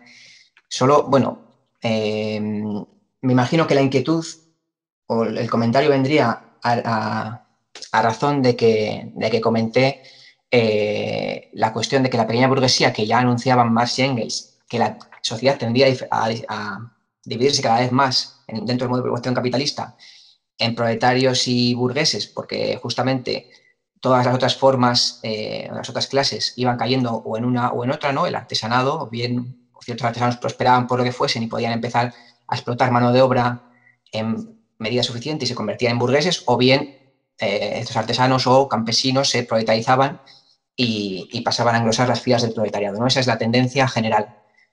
Eh, sin embargo, en el propio manifiesto, en el, apartado tercero del manifiesto, que está dedicado a, los socialismos, ¿no? la literatura socialista y comunista, hay un apartado que es el B, que está dedicado al socialismo pequeño burgués.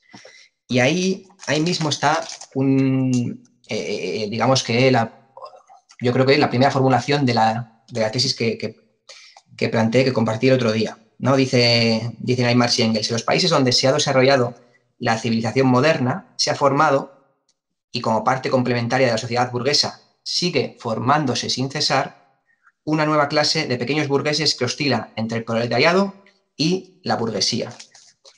Y ahí mismo ya está eh, formulada la idea de que siguen formándose sin cesar estos, sectores. Bueno, eh, la cuestión es que tal y como lo ha planteado eh, el compañero, que no recuerdo el nombre, es la, esa es la tendencia general. Lo que ocurre es que continuamente en el modo de producción capitalista ya sabemos que se van ampliando nuevas ramas de negocio, entonces van surgiendo nuevas oportunidades que hoy en día podemos verlo también eh, muy, muy fácilmente pues en toda la industria del entretenimiento, de los juegos, de los videojuegos.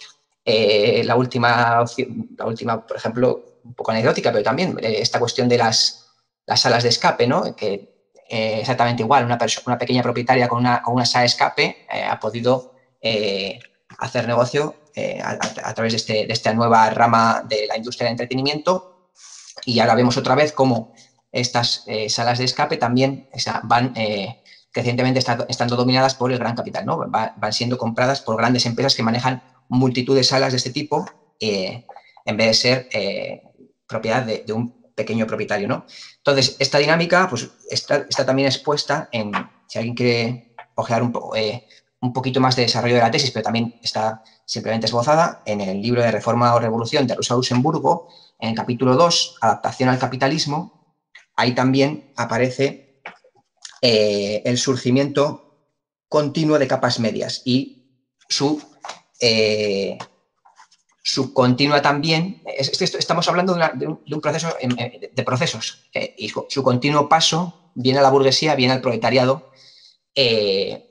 Entonces, esto hay que verlo, ya digo, en, el, comprendiendo, el, teniendo en cuenta el desarrollo del modo de producción capitalista, la apertura de nuevas ramas de negocio, de nuevas oportunidades que permiten el desarrollo de una pequeña burguesía que de ahí eh, deviene en burguesía o eh, entra en crisis y deviene en proletariado, pero, de, pero se vuelve a abrir en otra rama de negocio otra oportunidad para el surgimiento de, las, de la pequeña burguesía. Y bueno, esto se ve eh, en que los países industriales más desarrollados hoy en día sigue habiendo pequeña burguesía, aunque sabemos que, que hay mucha más masa proletaria que en los países más atrasados donde hay mucho más autoempleo, ¿no? En los países eh, con menos desarrollo. Entonces, la, la, eh, tendencia general es, eh, como bien dijeron Marx y Engels, la, la, tendencia a la división de la clase en dos, perdón, de la sociedad en dos clases fundamentales, burguesía y proletariado, pero como ellos mismos también anunciaron desde el manifiesto, esta gran tendencia general viene acompañada de una continua creación y reabsorción eh, de la pequeña burguesía. Y esto creo que basta como respuesta. Bien, eh, otra pregunta la hizo el compañero David Alcázar, que decía, tengo una pregunta. Como bien ha señalado el camarada David en su exposición, el socialismo científico, desde los mismos orígenes, fue y es una teoría totalizadora que abarca toda la realidad objetiva y subjetiva es decir, analiza problemáticas no solo relacionadas con la contradicción del capital-trabajo, sino con otras como la, la emancipación de la mujer, la destrucción de la naturaleza, etc. ¿Por qué en la actualidad los intelectuales pequeños burgueses niegan este carácter totalizador del marxismo y le acusan de ser un análisis meramente económico y mecanicista? El triunfo de estas posiciones postmodernas que fragmentan y segmentan las luchas democrático-populares explica en parte que no salgamos de la situación de debilidad y atomización por la que atraviesan los movimientos obreros y populares actualmente, es necesario recuperar el marxismo como herramienta teórica y guía para la acción para fortalecer el campo popular frente a las clases dominantes y superar el sistema de producción capitalista imperialista por el socialismo? Son unas cuantas de preguntas en una, pero relacionadas. Igual se, podría pegar la, pregunta en el, en el chat. Sí, sí, sin problema. Voy.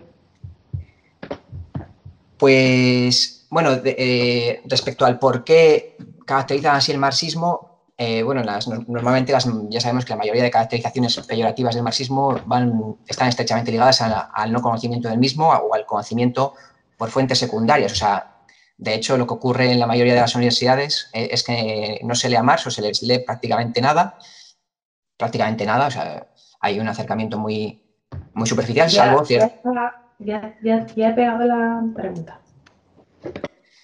Salvo ciertos casos de profesores muy particulares que buscan impulsar, pero son fenómenos eh, particulares, ¿no? Entonces, claro, si, si en, un contexto en el que el marxismo es eh, prácticamente desconocido, incluso eh, al interior de la universidad, pues digamos que cualquier afirmación sobre el marxismo va a imponerse porque no hay, no hay, no hay marxistas que la, apenas hay marxistas que la combatan, ¿no? o, muy pocos. Eh, luego, bueno, pues eh, ocurre también que hay una parcelación en el pensamiento, en el mundo académico, una, parcelación disciplinaria que, lleva a que cada quien haga un acercamiento del, marxismo eh, también pues parcial, ¿no? Que no, no es, que no es coherente ni, con ni siquiera con el mismo modo de surgimiento ni con las inquietudes de, de Marx y de, y, Engels, del mismo modo que también hay un acercamiento al marxismo eh, puramente teoricista, sin, ningún tipo de, preocupación eh, transformadora, sino como, eh, como, una, como, una, mera pues, opción intelectual más, ¿no? el marxismo, como igual que otras, otra serie de filosofías, otra serie de planteamientos, pues eh, una fuente más de la que extraer pues, ciertas ideas que resultan de interés. ¿no? Y, entonces eso lleva pues, bueno, a lecturas sobre marxismo eh, pues, eclécticas, parciales. Eh. Entonces yo diría que entre la hegemonía liberal, que también se manifiesta como hegemonía posmoderna, que es una particularidad de la, de la, hegemonía liberal, una particularidad actual. la, la práctica inexistencia del marxismo en el debate, en el debate público y en el debate académico, está también muy, muy arrinconado, pues, pues es, lo normal es que salgan lecturas eh, de todo tipo que no, que no representen para nada la, eh, pues la realidad del marxismo. ¿no? Mm, sobre la segunda pregunta, el triunfo de estas posiciones posmodernas que fragmentan y segmentan las luchas democrático-populares explican parte que no salgamos de la situación de debilidad y atomización por la que atraviesan los movimientos obreros y populares actualmente? Pues yo pienso, eh, claro, yo aquí eh, se me hacen unas preguntas eh, muy complejas que todas estas exigirían un, estudio sistemático y una exposición detallada, pero bueno, yo pienso que la principal problema, el principal problema contemporáneo es, es que no hay una noción en general en, en ámbitos de la izquierda, es que no hay una noción clara de qué es el capital ni qué es el modo de producción capitalista. No hay una definición eh, exhaustiva de qué es este fenómeno social. Claro, esa definición exhaustiva sabemos en qué libro está, que es un libro que, eh, lee muy, muy, muy poquita gente, ¿no? Se llama El Capital. Eh, ahí es donde están las bases ineludibles. Claro, si no se entiende qué es el modo de producción capitalista y no se entiende cuál es el papel del proletariado respecto a él, eh, pues bueno, eh, quien pues quien sea puede tener diversa sensibilidad social y acercarse a este o aquel problema que le interesa, porque pues el mundo este está plagado de injusticias de muy diverso tipo y pues nuestra experiencia de vida nos pueden eh, afectar o podemos ser más sensibles a, una u otra, ¿no? Pero si no entendemos cuál es la base material fundamental que estructura este mundo y que impide abordar la solución de un montón de problemas sociales y que es más, y que nos aboca a esos problemas sociales, ¿no? Pues, eh, ¿De qué sirve horrorizarse por las guerras si alguien no comprende eh, el imperialismo, ¿no? Pues, pues será un, eh, un horror, moral y, bueno, pues alguien puede hacer un buen trabajo de sensibilización, pero en el fondo, pues faltará una, una comprensión unitaria de los fenómenos sociales y de la guerra como expresión de, del imperialismo, que no es más que una fase del, del modo de producción capitalista. ¿no? Entonces, en mi opinión, el, problema central es que incluso entre las izquierdas, incluso las izquierdas que hablan de, de problemas, eh, explotaciones y opresiones de raza, sexo y clase, es que al final la cuestión de la clase y la cuestión, y más que la clase, la cuestión de qué es exactamente el modo de producción capitalista eh, está eh, no entendida y no se y es solamente en, bueno, pues en círculos marxistas muy, muy estrechos en los que se, se trata de, de resolver esta cuestión. Y en mi opinión, eh, partiendo de la comprensión exhaustiva del modo capitalista y del papel que tiene que jugar el proletariado eh, respecto a él, eh, es ahí donde todo el resto, todas las, otras demandas que de un modo u otro tienen que ver con este orden social que está estructurado en torno al capital, ¿no? pues ahí es donde el proletariado debería convertirse en, el abanderado de todos estos, eh, de la solución de todos estos problemas, eh, porque es el único capaz de, revolucionar el conjunto social, ¿no? Entonces, pero la premisa, de, la premisa parte de comprender eh, la base económica de esta sociedad. Y mientras no se haga eso, y eso solamente lo hace de manera radical el marxismo, pues todo lo otro pues queda en lo que comentaba él el camarada, ¿no? En posiciones eh, fragmentadas, que eh, nadie niega que tengan eh, buenos deseos e inquietudes y que hagan también buen trabajo en su, en su campo, pero falta esta cohesión y claro que esta cohesión es tarea de, vamos, nadie la va a regalar, será tarea de los marxistas y las marxistas producir el conocimiento y la, y la práctica que haga evidente esta, esta necesidad, o sea que esa es tarea, tarea nuestra, o sea que esto también eh, para además de, criticar al resto, pues saber detectar nuestras, nuestras tareas que tenemos que abordar. Y la tercera pregunta, ¿es necesario recuperar el marxismo como herramienta teórica y guía para la acción, para fortalecer el campo popular frente a las clases dominantes y superar el sistema de producción capitalista imperialista por el socialismo? Pues sí, es que no, no queda alternativa. O sea, o recuperamos el marxismo o lo reinventamos nosotros. Y como reinventarlo es bastante, bastante más trabajoso que, leer toda la acumulación de trabajo de todos los marxistas, desde Marx y Engels, y asimilar todos los debates que tuvieron que enfrentar, ¿no? tratar de, reescribir ahora por nuestra cuenta el capital o de rehacer los, debates desde el principio eh, frente a los anarquistas o tratar de comprender eh, o, inventar por nuestra cuenta la, importancia del partido en vez de leer a Lenin al respecto, pues es un camino muy largo, ¿no? Entonces, eh, sí, sí, el camino más, más rápido es un estudio sistemático de este trabajo para llevarlo a la práctica. Y bueno, espero con esto haber respondido a, a estas preguntas de... Pues de entrada no hay más preguntas. También entendemos que a lo mejor no le ha dado tiempo porque lo hemos hecho todo muy rápido y a lo mejor también muchas personas se han quedado un poco esperando, pero bueno, en, otra ocasión podemos seguir respondiendo todas estas cosas y si vemos que se quedaron preguntas por responder, pues en un momento determinado volvemos a hacer otra sesión extraordinaria y sin ningún problema. ¿Te parece, David?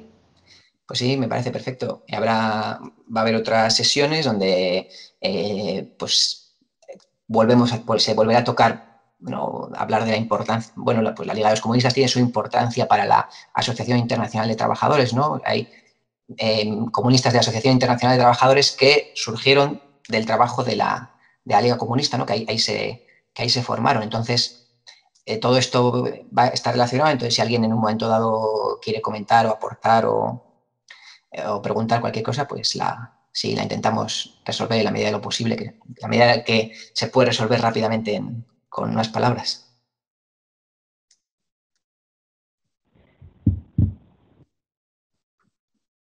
Bueno, otra pregunta es, ¿qué es el concepto de unidad y lucha desarrollado por Marx y Engels? ¿Lo pusieron en práctica en la lucha cotidiana? ¿Su intervención en la Liga de los Justos es un ejemplo de ello? ¿Cómo podemos poner en práctica en la actualidad ese concepto dialéctico? Eh, esta estaría también muy bien que estuviese el, compañero, eh, porque no sé muy bien en qué contexto eh, se refiere a la cuestión de la unidad y lucha, ¿no? Porque la, idea de la unidad y lucha de Contarios como concepto dialéctico, claro, es trata de expresar el movimiento, ¿no? Que es a lo que se dedica la dialéctica, la dialéctica, a, explicar las leyes, del, las leyes del movimiento. Y una de ellas es esta, la unidad y lucha de Contarios. Entonces esto abarca cualquier fenómeno social, natural. Entonces habrá que ver cómo se quiere eh, hacer eh, considerar esta, esta cuestión respecto a, qué realidad eh, por ejemplo, dentro del modelo de producción capitalista, pues la unidad de, la burguesía y proletariado es, es, una, necesidad del propio modo de producción capitalista. ¿no? no puede existir el modo de producción capitalista sin burguesía y proletariado y, sin embargo, sabemos que esta propia relación de, explotación, burguesía-proletariado, lleva a un conflicto que será eh, el, mediante el cual se supere ese, modo de producción capitalista. ¿no? Entonces, eh, el, propio devenir del modo de producción capitalista tiene que ver con la unidad y lucha de contrarios, en este caso de la burguesía y del proletariado. Eh, claro, yo no sé muy bien cómo, cómo se, está, se, estaba intentando aterrizar esto en, en relación con la Liga de los, de los comunistas, ¿no? Pero vamos, es un hecho que, esta premisa dialéctica estaba eh, en mente continuamente en Marx y Engels. La verdad es que eh, pues, eh, tendríamos que intentar cerrar más el, espacio de, investigación, ¿no?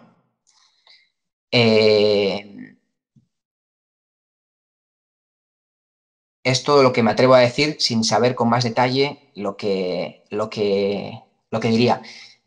Y la, pregunta de cómo podemos poner en práctica en la actualidad este concepto dialéctico, pues es siempre tratando de, observar un, fenómeno social en proceso, pues ahí es donde eh, podemos ver cómo esta, esta cuestión está, está funcionando, pero que puede ser en, muy, diversos, en muy diversos ámbitos, ¿no? Entonces habría que, habría que siempre tratar de, situar la, situación concreta para, para tenerlo en cuenta, porque solamente la idea de unidad y lucha simplemente es una, idea muy, muy, muy genérica, muy abstracta sobre el movimiento, sea un movimiento social, sea movimiento eh, natural.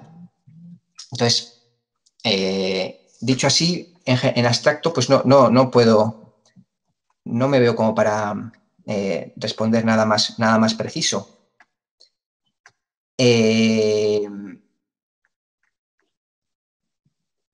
Bueno, ya sabemos que, con la pequeña burguesía eran conscientes Marx y Engels de, qué aspectos las contraponían a, a la pequeña burguesía y el proletariado respecto al feudalismo y, pero sabemos que ellos concebían esta, eh, esta unidad de burguesía, pequeña burguesía proletariado contra el feudalismo eh, como una unidad eh, dentro del marco de la contradicción modo de producción capitalista